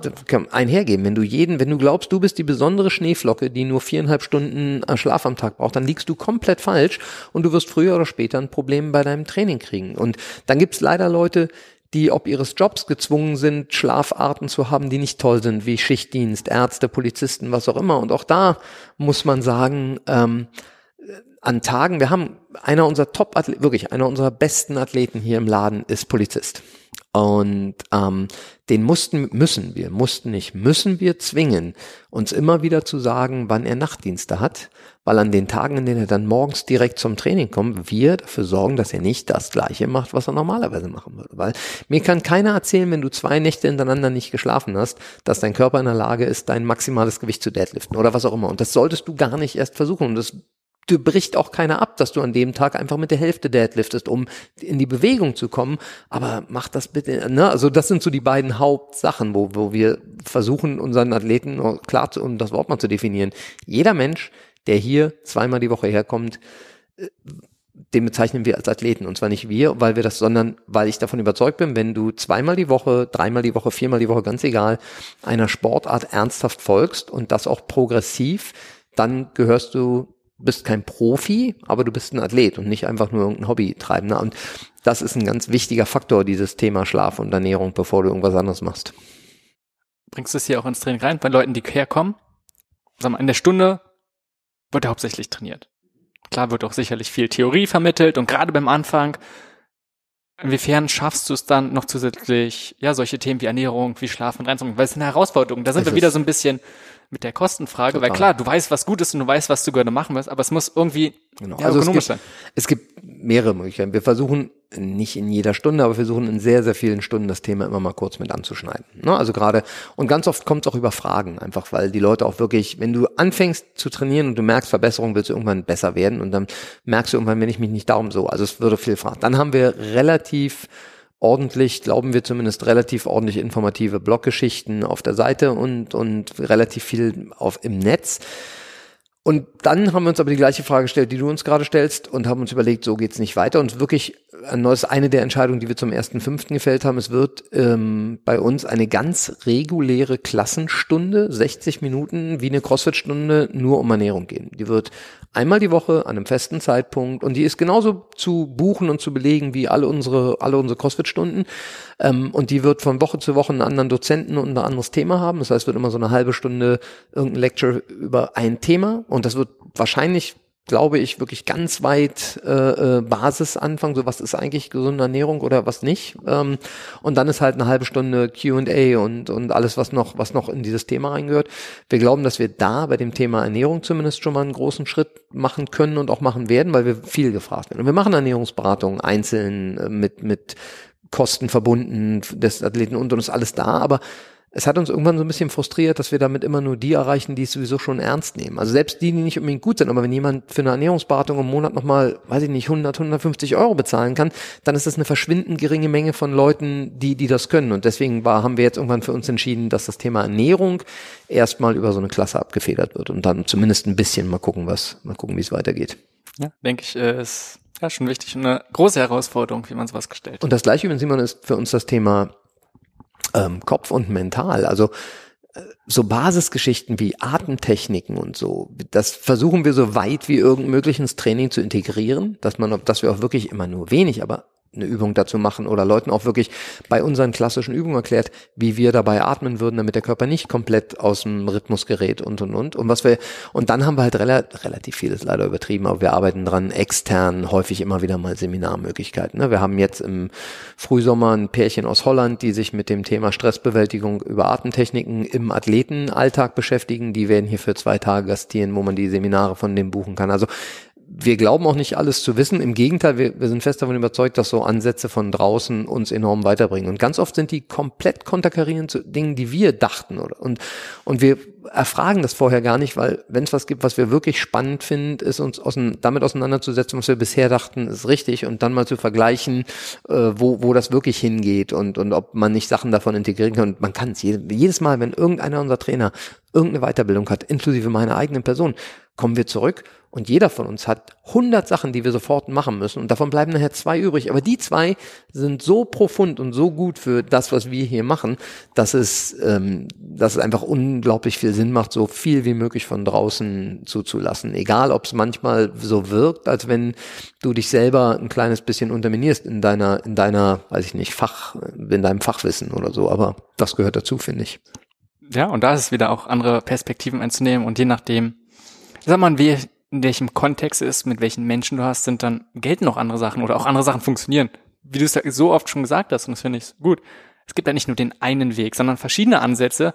Und mit manchen Ernährungsformen ist es ja genauso. Da muss man halt in deren Kontext betrachten. Und wenn man es genauso macht, dann funktioniert es unter bestimmten Umständen für verschiedene oder für bestimmte Menschen einfach. Und im Gegenteil, das was ich vorhin schon, das, was du gerade sagst, ganz im Gegenteil, was ich immer wieder erlebe, ist, dass wenn jemand massiv darauf besteht, dass diese eine Ernährung das Einzige ist, was dann gibt es fast immer einen Grund, warum der darauf besteht. Und manchmal ist es Überzeugung. Es gibt einfach, ich möchte jetzt auch nicht über Ernährungsnazis reden, aber, aber wirklich, es gibt diesen Menschen, der erlebt hat, dass diese eine Ernährungsform für ihn alles verändert hat und das will er unbedingt weitertragen. Das ist ein bisschen auch wie beim CrossFit. Ne? Man redet ja gerne davon, woran man erkennt, dass jemand vegan ist oder CrossFit macht. Er erzählt's dir, ist so der, der Klassiker und, äh, und zwar immer. Und, und das, das ist ein ganz entscheidender Faktor. Aber was ich erlebt habe, was ich für mich gelernt habe, ist, dass wenn Menschen so sehr darauf bestehen, dass dieses eine Training, dieses eine Essen, diese eine Technik, was auch immer, das ist, was alle Menschen weiterbringt, dann ist da fast immer ein finanzieller Grund hinten dran oder zumindest ein sehr, sehr eigennütziger Grund. Das ist etwas, was wir hier möglichst nicht okay, haben wollen. Dadurch, dass du es auch schon wieder gesagt hast. Wenn du mal außer diesen, jetzt schon mehrmals, außer diesen Punkt, dass jemand genau sagt, dass das das Richtige ist, wenn wir das mal wegnehmen, was ist sonst einer der häufigsten und vielleicht auch schlechtesten Ratschläge, die du immer wieder hörst in diesem Tätigkeitsbereich? Wirklich, wirklich ein simpler fachlicher? Oh Gott, ist nach 18 Uhr keine Kohlenhydrate mehr. So einer, wenn ich jedes Mal einen Euro kriegen würde, wo Leute mit, mit dieser, mein Gott, ich müsste hier nicht mehr arbeiten, ich hätte eine Insel. Ähm, nee, wirklich, so dieses wann, also da sind wir wieder bei Ernährung, da merkt man, glaube ich, auch, wie sehr uns dieses Thema mittlerweile beschäftigt, aber es ist wirklich so, die, ähm, so die Standardgeschichten in der Ernährung, also ist nach 18 Uhr keine Kohlenhydrate oder ist möglichst überhaupt keine Kohlenhydrate. Ähm, äh, äh, gerade natürlich Intermediate Fasting, ne? weil es macht jetzt ja jeder und es ist auch die die super heilbringende Geschichte und bitte nicht falsch verstehen, das ist ich habe ganz viele Sachen probiert und das habe ich probiert und das kann unter gewissen Umständen funktionieren für Physiologie, es kann auch funktionieren für Krankheit und und die Frage nach nach diversen Insulinen etc. pp Unklarheiten, aber für neun von zehn Leuten ist es wieder mal ein 30 Tage oder 60, 60 Tage Ding, äh, was man probiert und dann wieder aufs nächste Pferd aufspringt. Und ich, das ist für mich die, die, die Nummer eins.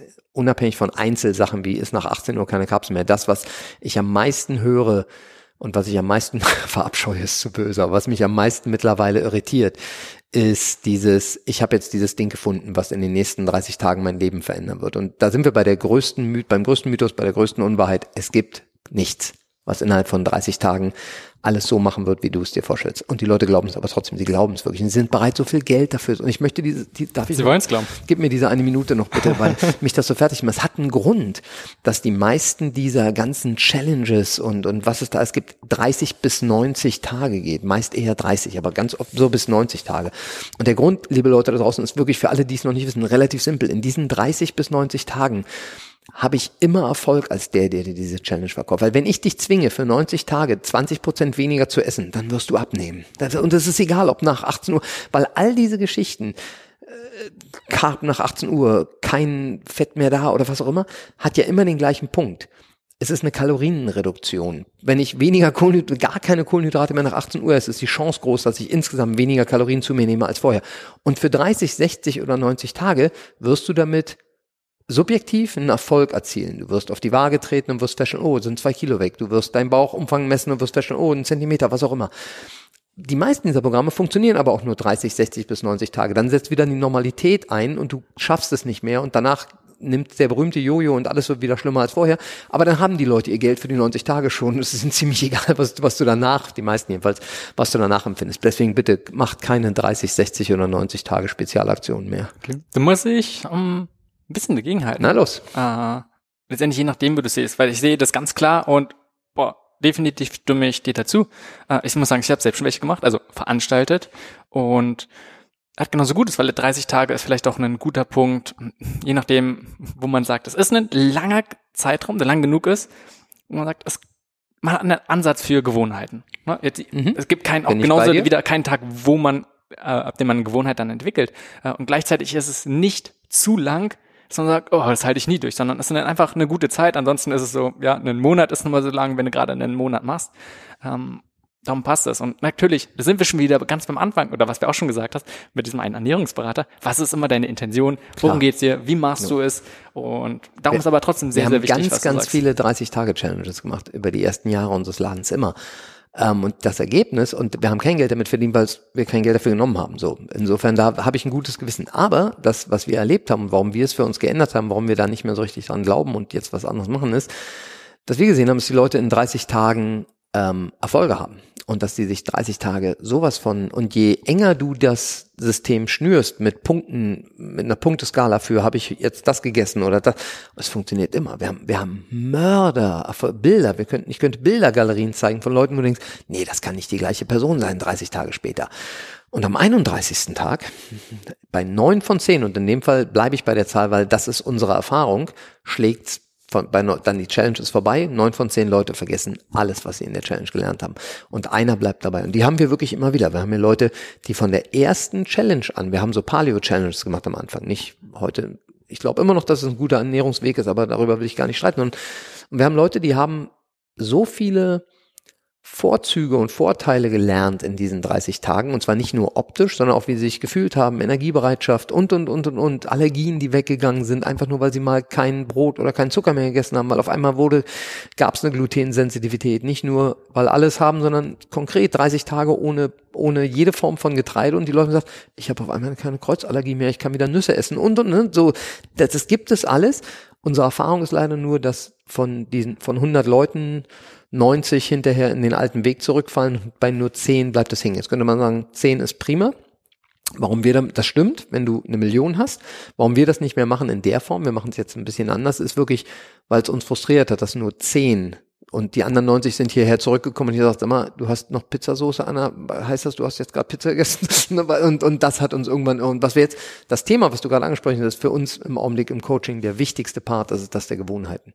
Das heißt, was wir heute machen über viel längere Zeiträume als 30 Tage ist, ganz, ganz klein anfangen, über Gewohnheiten zu reden mit den Leuten, mit einem Glas Wasser auf nüchternen Magen für die ersten zwei Wochen. Und dann mal gucken, wenn du das wirklich zwei Wochen geschafft hast, wenn du mir das, wenn du mir ins Auge guckst und sagst, ja, habe ich zwei Wochen, dann lass uns mal darüber reden, was der nächste kleine Punkt sein kann. Und da erleben wir jetzt, dass das für die meisten von uns mehr Sinn macht, als, als das, wir ändern von morgen auf alles, alles und Paleo Challenge ist, äh, also, also übrigens, wir haben immer viel Spaß gehabt und ich habe übrigens auch selber unglaubliche Ergebnisse für mich erzählt, habe teilweise, das, das gibt's auch überhaupt nicht. Und dann ich auch. Genau 31 Tage später, und jetzt ein Hegen, das Eis. Ja.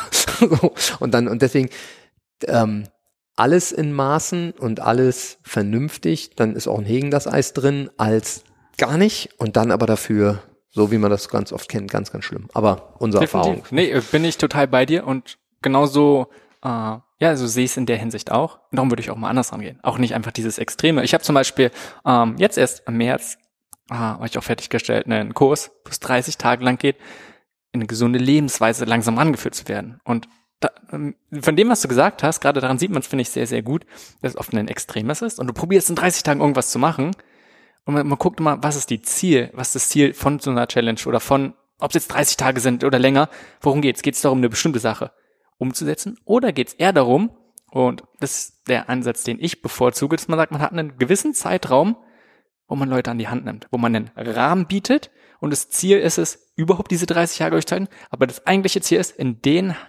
Rahmen den Leuten was an die Hand zu geben, dass sie es langfristig beibehalten können. Ja, und auch in keine, ähm, in keiner Art und Weise Stigmatas zu setzen. Ne? Also das ist ja auch so eine 30-Tage-Challenge, in der du das, das, das, das und nicht darfst. Das hat, nochmal, es hat super funktioniert, aber es ist immer so ein, das darf ich nicht, das darf ich nicht, würde ich gerne, aber darf ich nicht wenn du Leute dahin bringst, und so ist auch der Ansatz unserer Ernährungsberatung mittlerweile, die wir hier haben, ähm, Leuten klarzumachen, dass das völlig okay ist, Sonntag mit seiner Familie ein Stück Kuchen zu essen. Ganz im Gegenteil, weil du nicht der Arsch sein willst, der zu Freunden eingeladen wird und sagst, oh ja, Brot gebacken für uns. Nee, aber ich esse ja kein Brot mehr, wisst ihr, weil äh, das ist nicht, das ist einfach so unsozial, wie es unsozialer nicht, also und da rede ich nicht von deinem Verhalten, sondern von unsozialem wirklich gröbsten Sinne. Du wirst, gehörst nicht zu dieser Gruppe, egal was du, und das ist unnötig, sondern klarzustellen, dass wenn du mit gutem Gewissen diese zwei Scheiben Brot isst mit ein bisschen Olivenöl, das dich nicht umbringen wird. Und wenn du am nächsten Morgen für dich sagst, weißt du was, und heute Morgen zum Frühstück esse ich nur Eier und Gemüse, ich möchte lieber kein Brötchen, weil ich hätte,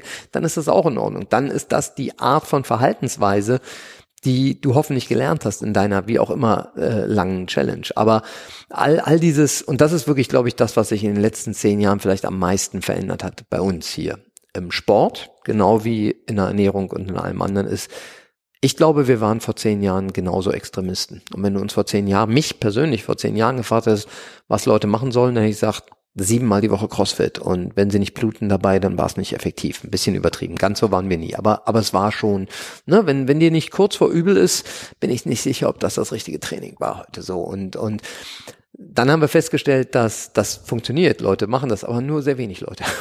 Die, bei denen ist das irre erfolgreich und die sehen toll aus und sind tolle Werbeträger. Aber es hilft gar nicht, dass die Werbeträger sind, weil die bringen Leute mit, die nach zwei Trainings sagen, nee, was, was ist mir, was ist nichts für mich.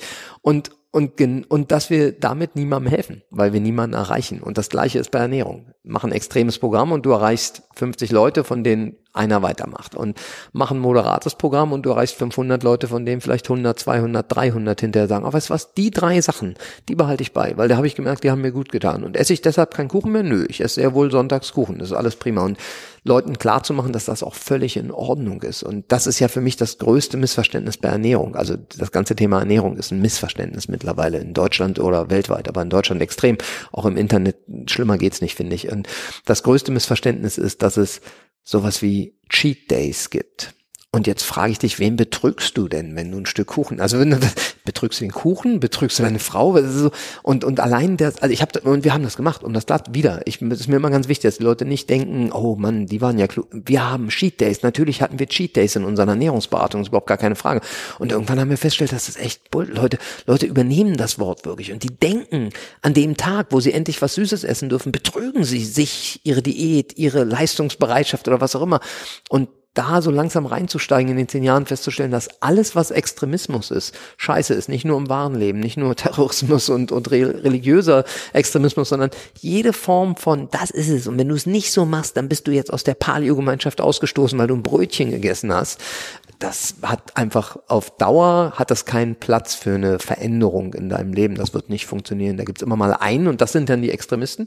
Im Regelfall wie bei Rauchern und Nichtrauchern, glaube ich, Leute, die irgendwie jetzt nie wieder und oh, so, das, und, und das funktioniert aber nicht. Das funktioniert nicht in einem harmonischen Zusammensein mit anders, ne, anderen und auch mit dir selbst, glaube ich nicht. Kompliziert. Ich finde gut, dass du gerade doch nochmal Religion erwähnt hast, wenn, nein, weil es für mich ähnlich ist. Und man muss auch mal gucken, auch gerade bei Total. Ernährung, worum geht's mit Ernährung? Und wenn wir Gesundheit sprechen, klar, kann man gucken, was ist Gesundheit, aber es ist nur auf einen Mittelweg und nicht was Extremes. Und wenn es darum geht, um rein körperliche Leistungsfähigkeit, mag eine Sache sein. Und ein Hochleistungssportler, der zur Olympiade geht, okay, für Klar. den geht nochmal ganz andere Sachen. Aber so, wenn es um Leben geht, dann muss man auch Ernährung mehr als nur dieses rein biologische sehen, sondern einfach holistisch sehen.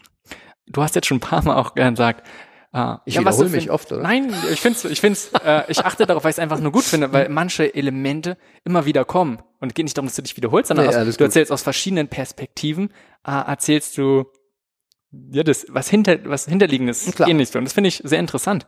Und genauso das, was du, was du selbst und vielleicht auch im Studio hier für verschiedene, oder fast für eine große Entwicklung du gemacht hast. Und wie viel Fehler vielleicht oh. du gemacht hast und was du gelernt hast. Wir schämen uns heute noch für einige Sachen.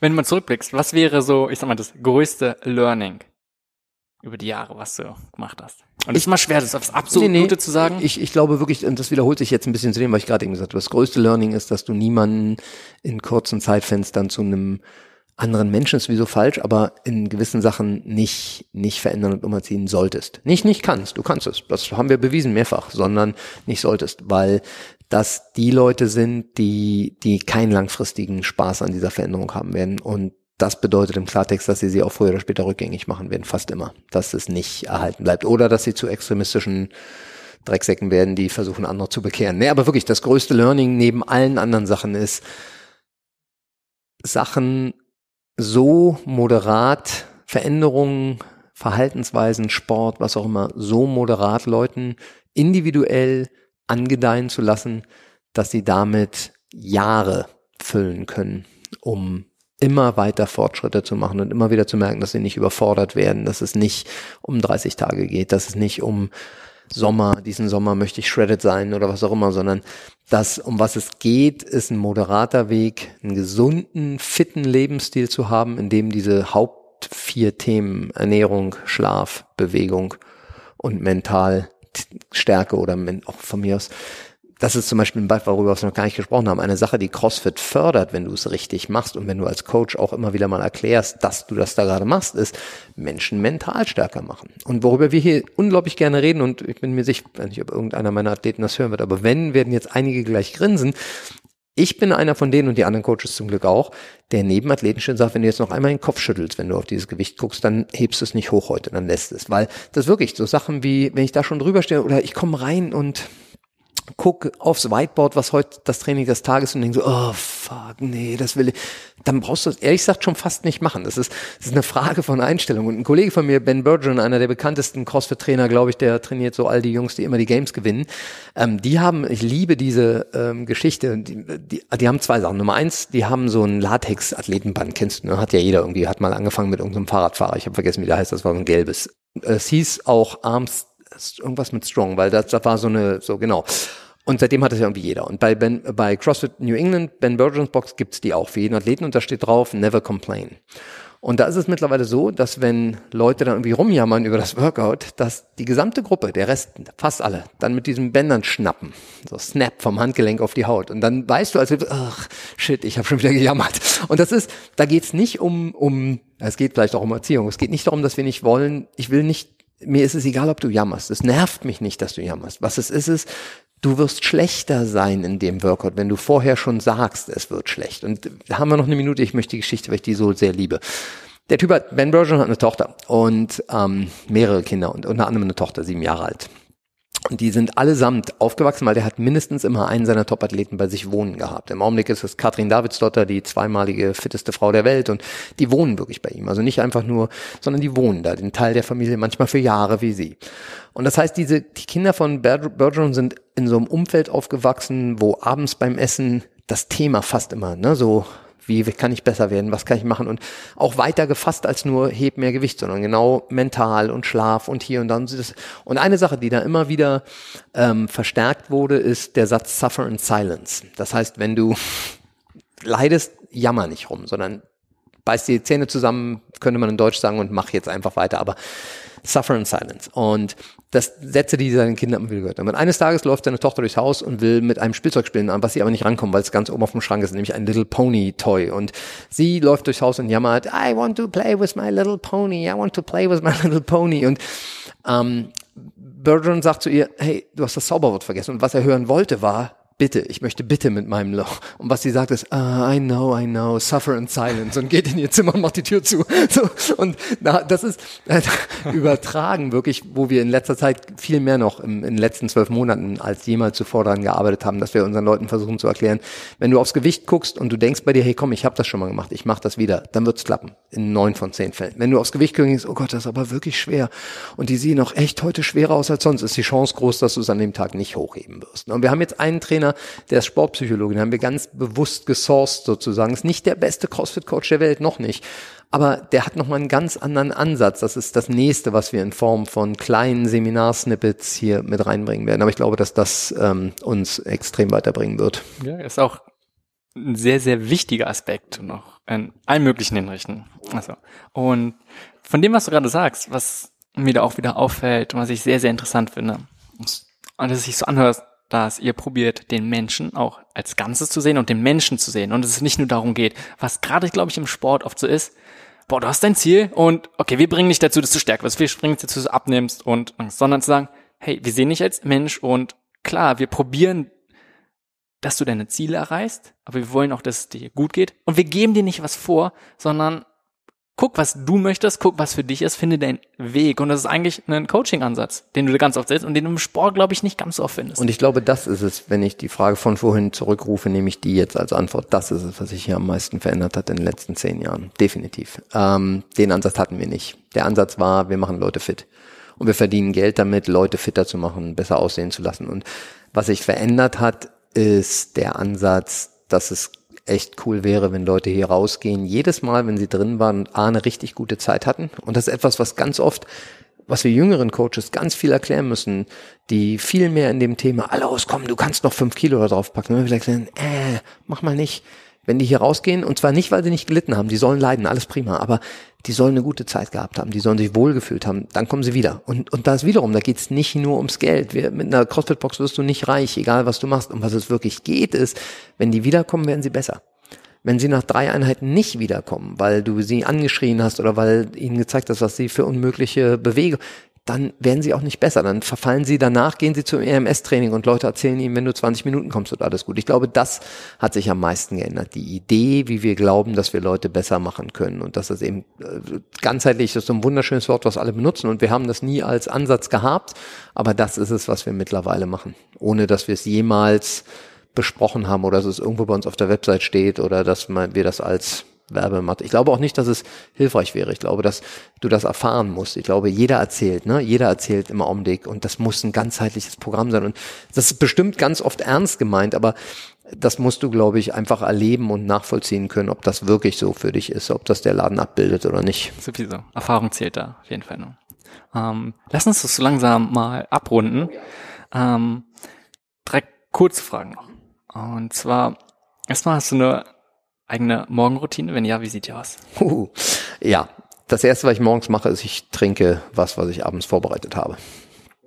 Ähm, sind 400 Milliliter Leitungswasser, was einfach nur über Nacht schon mal Raumtemperatur hatte. Ähm, und ich mache insgesamt 6 Gramm Meersalz am Abend mit rein und den Saft einer Viertel Zitrone. Ähm, habe ich nicht selbst erfunden, habe ich bei jemandem geklaut. Ähm, äh, mir, mir war es sehr logisch, also ich, Wasser trinken morgens war immer schon logisch und ist eine dieser Angewohnheiten, für die ich aber eine Weile gebraucht habe, weil ich einfach Kaffee besser fand und, und klar, mir klar machen musste, dass erstmal zwei Gläser Wasser gut wären. Aber es äh, ändert halt eine ganze Menge schlichtweg, weil du auf der Stelle dein Salzdefizit ausgleichst. Ähm, die Zitrone macht ein bisschen Vitamin C, aber es ist in erster Linie für den Geschmack. Falls du mit Salzwasser nicht so gut klarkommst, hilft der Saft der Zitrone ein bisschen. Ähm, genau, das ist das Erste, was ich mache, wenn ich aufstehe und danach ist ein Teil meiner Routine, dass ich ähm, die Kaffeemaschine anmache. Ich male meinen Kaffee selber und packe ihn dann in meine Kaffeemaschine. Ähm, und dann im Regelfall, wenn genug Zeit hast, was in 50 Prozent aller Fälle so ist, dann mache ich eine Atemübung. Und zwar weniger aus meditativen Grund, finde ich toll, glaube ich auch dran, sondern wirklich eher, dass ich für mich merke, wenn ich meinen Atem kontrolliere, übrigens ein Thema, was wir hier in den letzten Monaten erheblich fokussieren. Ähm, wenn du dich auf deine Atem kontrollierst und deinen Atem kontrollieren kannst, kontrollierst du auch deine Reaktion, du kontrollierst, wie du den Rest des Tages oder zumindest die nächsten zwei Stunden bestreitest, wie du ans Telefon gehst, wie du mit deinen Kindern redest, wenn die gerade nerven, weil sie sich nicht vernünftig die Zähne putzen und und und. Wenn ich meine Atem für ein, zwei, drei Minuten länger brauche ich nicht unter Kontrolle bringe, ähm, bin ich meistens deutlich verträglicherer und freundlicherer Mensch, als wenn ich aufwache und denke, oh Gott, ich muss ja auch gleich los und kriege ich noch einen Kaffee und, und schon ist irgendwie alles schlecht. Genau, das sind so die beiden Sachen, die ich versuche jeden Morgen zu integrieren. Voll gut. Ähm, ganz kurz, wenn du sagst, was so vielleicht auf die sechsten, sechs Monate, zwölf Monate zurückdenkst, was so eines der besten Investments, die du für dich, für deine Gesundheit gemacht hast und kann sein, was irgendwas in Form von Geld, Zeit, ähm, irgendwie was sagt, was dir am meisten, vielleicht auch in Bezug auf deine Gesundheit oder Fitness gebracht mhm. hat? Mm. Ich habe mir ein externes Online-Schulterprogramm gekauft. Ich habe ein bisschen Schulterprobleme wie jeder zweite Crossfitter, Impingement natürlich, ist übrigens wirklich so. Ähm, und ich habe mir ich dachte erst wirklich, oh, die übertreiben so ein bisschen meinen Preis, ähm, was, was für online und habe dann irgendwas, komm, was soll's, versuch's halt mal, ist nur Geld. Ähm, und ich glaube, es war die wirklich beste Lösung, weil meine Schulter allerdings erneut kein, kein Zaubermittel, kein 30 Tage, sondern sechs Monate mehr oder weniger fünf Tage die Woche 30 Minuten investiert und neben dem Geld ganz eindeutig diese 30 Minuten fünfmal die Woche sind das Beste, was ich meiner Gesundheit in den letzten zwölf Monaten angetan habe. Meine Schulter ist nicht 100 Prozent, aber knapp vor 90 und vor einem Jahr war sie bei 50. Insofern, ähm, und ich laboriere damit schon ein paar Jahre rum, also es ist jetzt nicht so und von wir müssen operieren zu da geht nichts mehr, habe ich alles gehört. Insofern ähm, an dieser Stelle möchte ich jedem, und zwar nicht sagen, geh nicht zum Arzt, bitte richtig verstehen, aber äh, Schulmedizin ist nicht komplett alles. Wir könnten noch ein Beispiel nehmen, ich habe mir gerade den Fuß gebrochen, darüber können wir auch reden, warum ich hier nicht im Gips sitze und warum nach zehn Tagen nach Fußbruch der Arzt sehr überrascht ist, dass die Nähte gerade wieder zusammenwachsen. Ähm, aber also der, wenn ich den Tipp loswerden darf, hol dir immer mal eine zweite oder dritte Meinung, manchmal auch eine, die nicht schulmedizinisch hinterfragt werden kann. Auch Schulmedizin lernt. Oh ja, hoffentlich. Ist auch nicht Schulmedizin, ist nicht Schulmedizin. Genau. Ähm, eine Sache noch. Und wir haben viel darüber gesprochen, oder ich denke, das kam viel, an vielen Stellen schon mal durch, aber wenn es nochmal so zusammenfassen äh, welche Verhaltensweise oder Denkweise, so, auch wenn, wir haben über das Mindset schon gesprochen, hat auch wieder deine Lebensqualität am meisten gesteigert? Mhm. Ich glaube, das hatte ich schon immer, aber ich habe es in den letzten Jahren nur verfeinert und auch wahrgenommen. Und das ist wirklich, dass ich ein extrem ähm, ja nicht nur nicht, nicht positiv bin, das stimmt nicht. Da würden Leute jetzt sofort lachen. Ich habe durchaus Situationen, wo ich denke, ihr könnt mich alle mal, das alles Mist jetzt, aber ich vergesse unglaublich schnell. Ich bin wirklich, und zwar egal ob Sieg oder Niederlage, wenn ich es überhaupt dahin fassen will, aber ich bin wirklich jemand, anders als viele Menschen, mit denen ich zu tun habe, wenn ich kann hier noch so viel Ärger an dem Tag gehabt haben, wenn ich hier raus bin, ist es fünf Minuten später vergessen. Und ich glaube, das hat unter anderem mit den Atemtechniken, also mit dem zu tun, was ich da für mich nicht nur morgens, ich mache das auch über den Tag immer wieder mal. Aber es hat vor allen Dingen, ist es eine Frage der Weisheit. Und ähm, ich möchte nicht sagen, ich weise bin, aber ich bin weiser, als ich vor 20 Jahren war. Und ich habe einfach gelernt, dass es wirklich nichts gibt, nichts, außer es betrifft dich körperlich extrem, aber es gibt nichts, was so schlimm ist, wie du in dem Augenblick glaubst, dass es jetzt gerade ist. Und ähm, im Gegenteil, ich hab, wir haben jetzt gerade die Situation, einer unserer besten Coaches, ähm, den wir hier wirklich ab, den auch die Kunden abgöttisch lieben, der geht weg, der geht nicht zu Konkurrenz, sondern der geht zurück nach Amerika, weil er hier in Berlin keinen Platz für seine Kinder für einen Kindergarten, bla bla bla. Und alle anderen, wirklich alle durchgehend, haben irgendwie so, oh mein Gott, oh, was machen wir denn jetzt? Und ich habe die Nachricht gestern Abend bekommen und habe so bei mir gedacht, okay, das ist doof, klar, aber ehrlich, es ist auch die Chance, jemanden anders zu fragen, ob er da reinwachsen will. Und wer weiß, ne, so.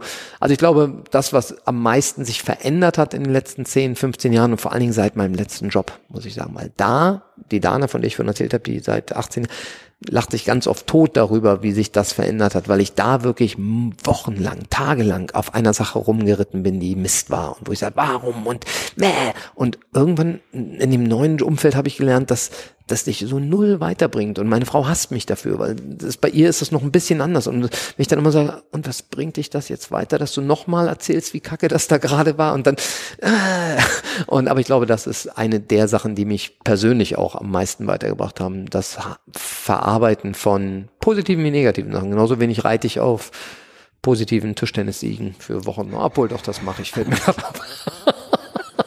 da würden einige sagen, doch, das macht er. genau. Ja, das Darf ja auch sein, aber gezielt einfach auch Sachen genau. loszulassen. Da finde ich, ja, vielen, vielen Dank für deinen Einblick und der, Olaf, generell auch, dass du mir uns einen Einblick gegeben hast. Sehr gerne. Sag mal, in das Studio, äh, deinen eigenen Weg, deine eigenen Erfahrungen, die du über die Jahre gemacht hast und vor allem den Ansatz, den du hier hast und wie du Leute betreibst. Wer in Berlin wohnt, was ist der beste Weg? Einfach anrufen, Probetraining ja. vereinbaren oder hast du dafür? Black, ich glaube, und ich bin so schlecht. ähm, es ist im Internet, das kann ich sagen, und ich glaube, es heißt black-sheep-athletics.de. Wenn, wenn ihr Black Sheep Athletics besucht, dann findet ihr nur einen Laden in Berlin, definitiv. Die Seite nehmt ihr. Ich, verl ich verlinke es auf jeden Fall schon. Ich bin, ich bin richtig gut in sowas. Meine Kollegen lieben mich dafür. Ähm, und da gibt's ein Formular nimm dein persönliches Probetraining wahr. Und das nehmen wir sehr ernst. Das heißt, egal ob du hier bleibst, egal ob du woanders hingehst, egal ob du dich jemals wieder für Sport interessierst, aber ein persönliches Probetraining bedeutet im Klartext du und ein Coach für 30, 45, manchmal 60 Minuten. Kommt sehr darauf an, wie auch die Chemie stimmt und alles andere. Und was du auf jeden Fall mitnehmen wirst aus dem Training, ist ein bisschen mehr Wissen über dich selbst über das, was du kannst oder was du nicht kannst oder über an den Punkten, an die du vielleicht am schnellsten körperlich arbeiten solltest, das kriegst du da auf jeden Fall mit. Und das ist gratis. Ja, perfekt. Also ich denke, da hast du auch einen guten Einblick bekommen, äh, worauf ihr achtet, welche Herangehensweise macht und äh, gerade wenn es umsonst ist, kann ich nur sagen, ist nichts, äh, war was Gewöhnliches. Selbstverständlich nicht. Äh, vor allem selbstverständlich nicht. So. Genau. Und darum kann ich nur empfehlen, für den es jetzt interessant ist, das auf jeden Fall mal auszuprobieren. Jawohl, super. Also Luff, vielen, vielen Dank, dass du dir die Zeit genommen hast. Bis dann. Ciao. Das war Perspektive Gesundheit. Ich hoffe, dir hat die Folge gefallen. Damit du keine zukünftige Folge verpasst, abonniere diesen Podcast. Aber das hast du sicherlich bereits, richtig? Um mehr über die besprochenen Themen dieser Folge zu erfahren, klicke den Link in den Show Notes. Besuche www.perspektivegesundheit.de, um mehr über einen gesunden Lebensstil zu lernen und vor allem, wie du schaffst, ihn auch umzusetzen. Und wenn du schon dort bist, trag dich unbedingt in unseren Newsletter ein, so entgeht dir nicht nur keine Folge, sondern du hältst die wesentlichen Kernaussagen direkt in dein Postfach. Also, bis zur nächsten Folge.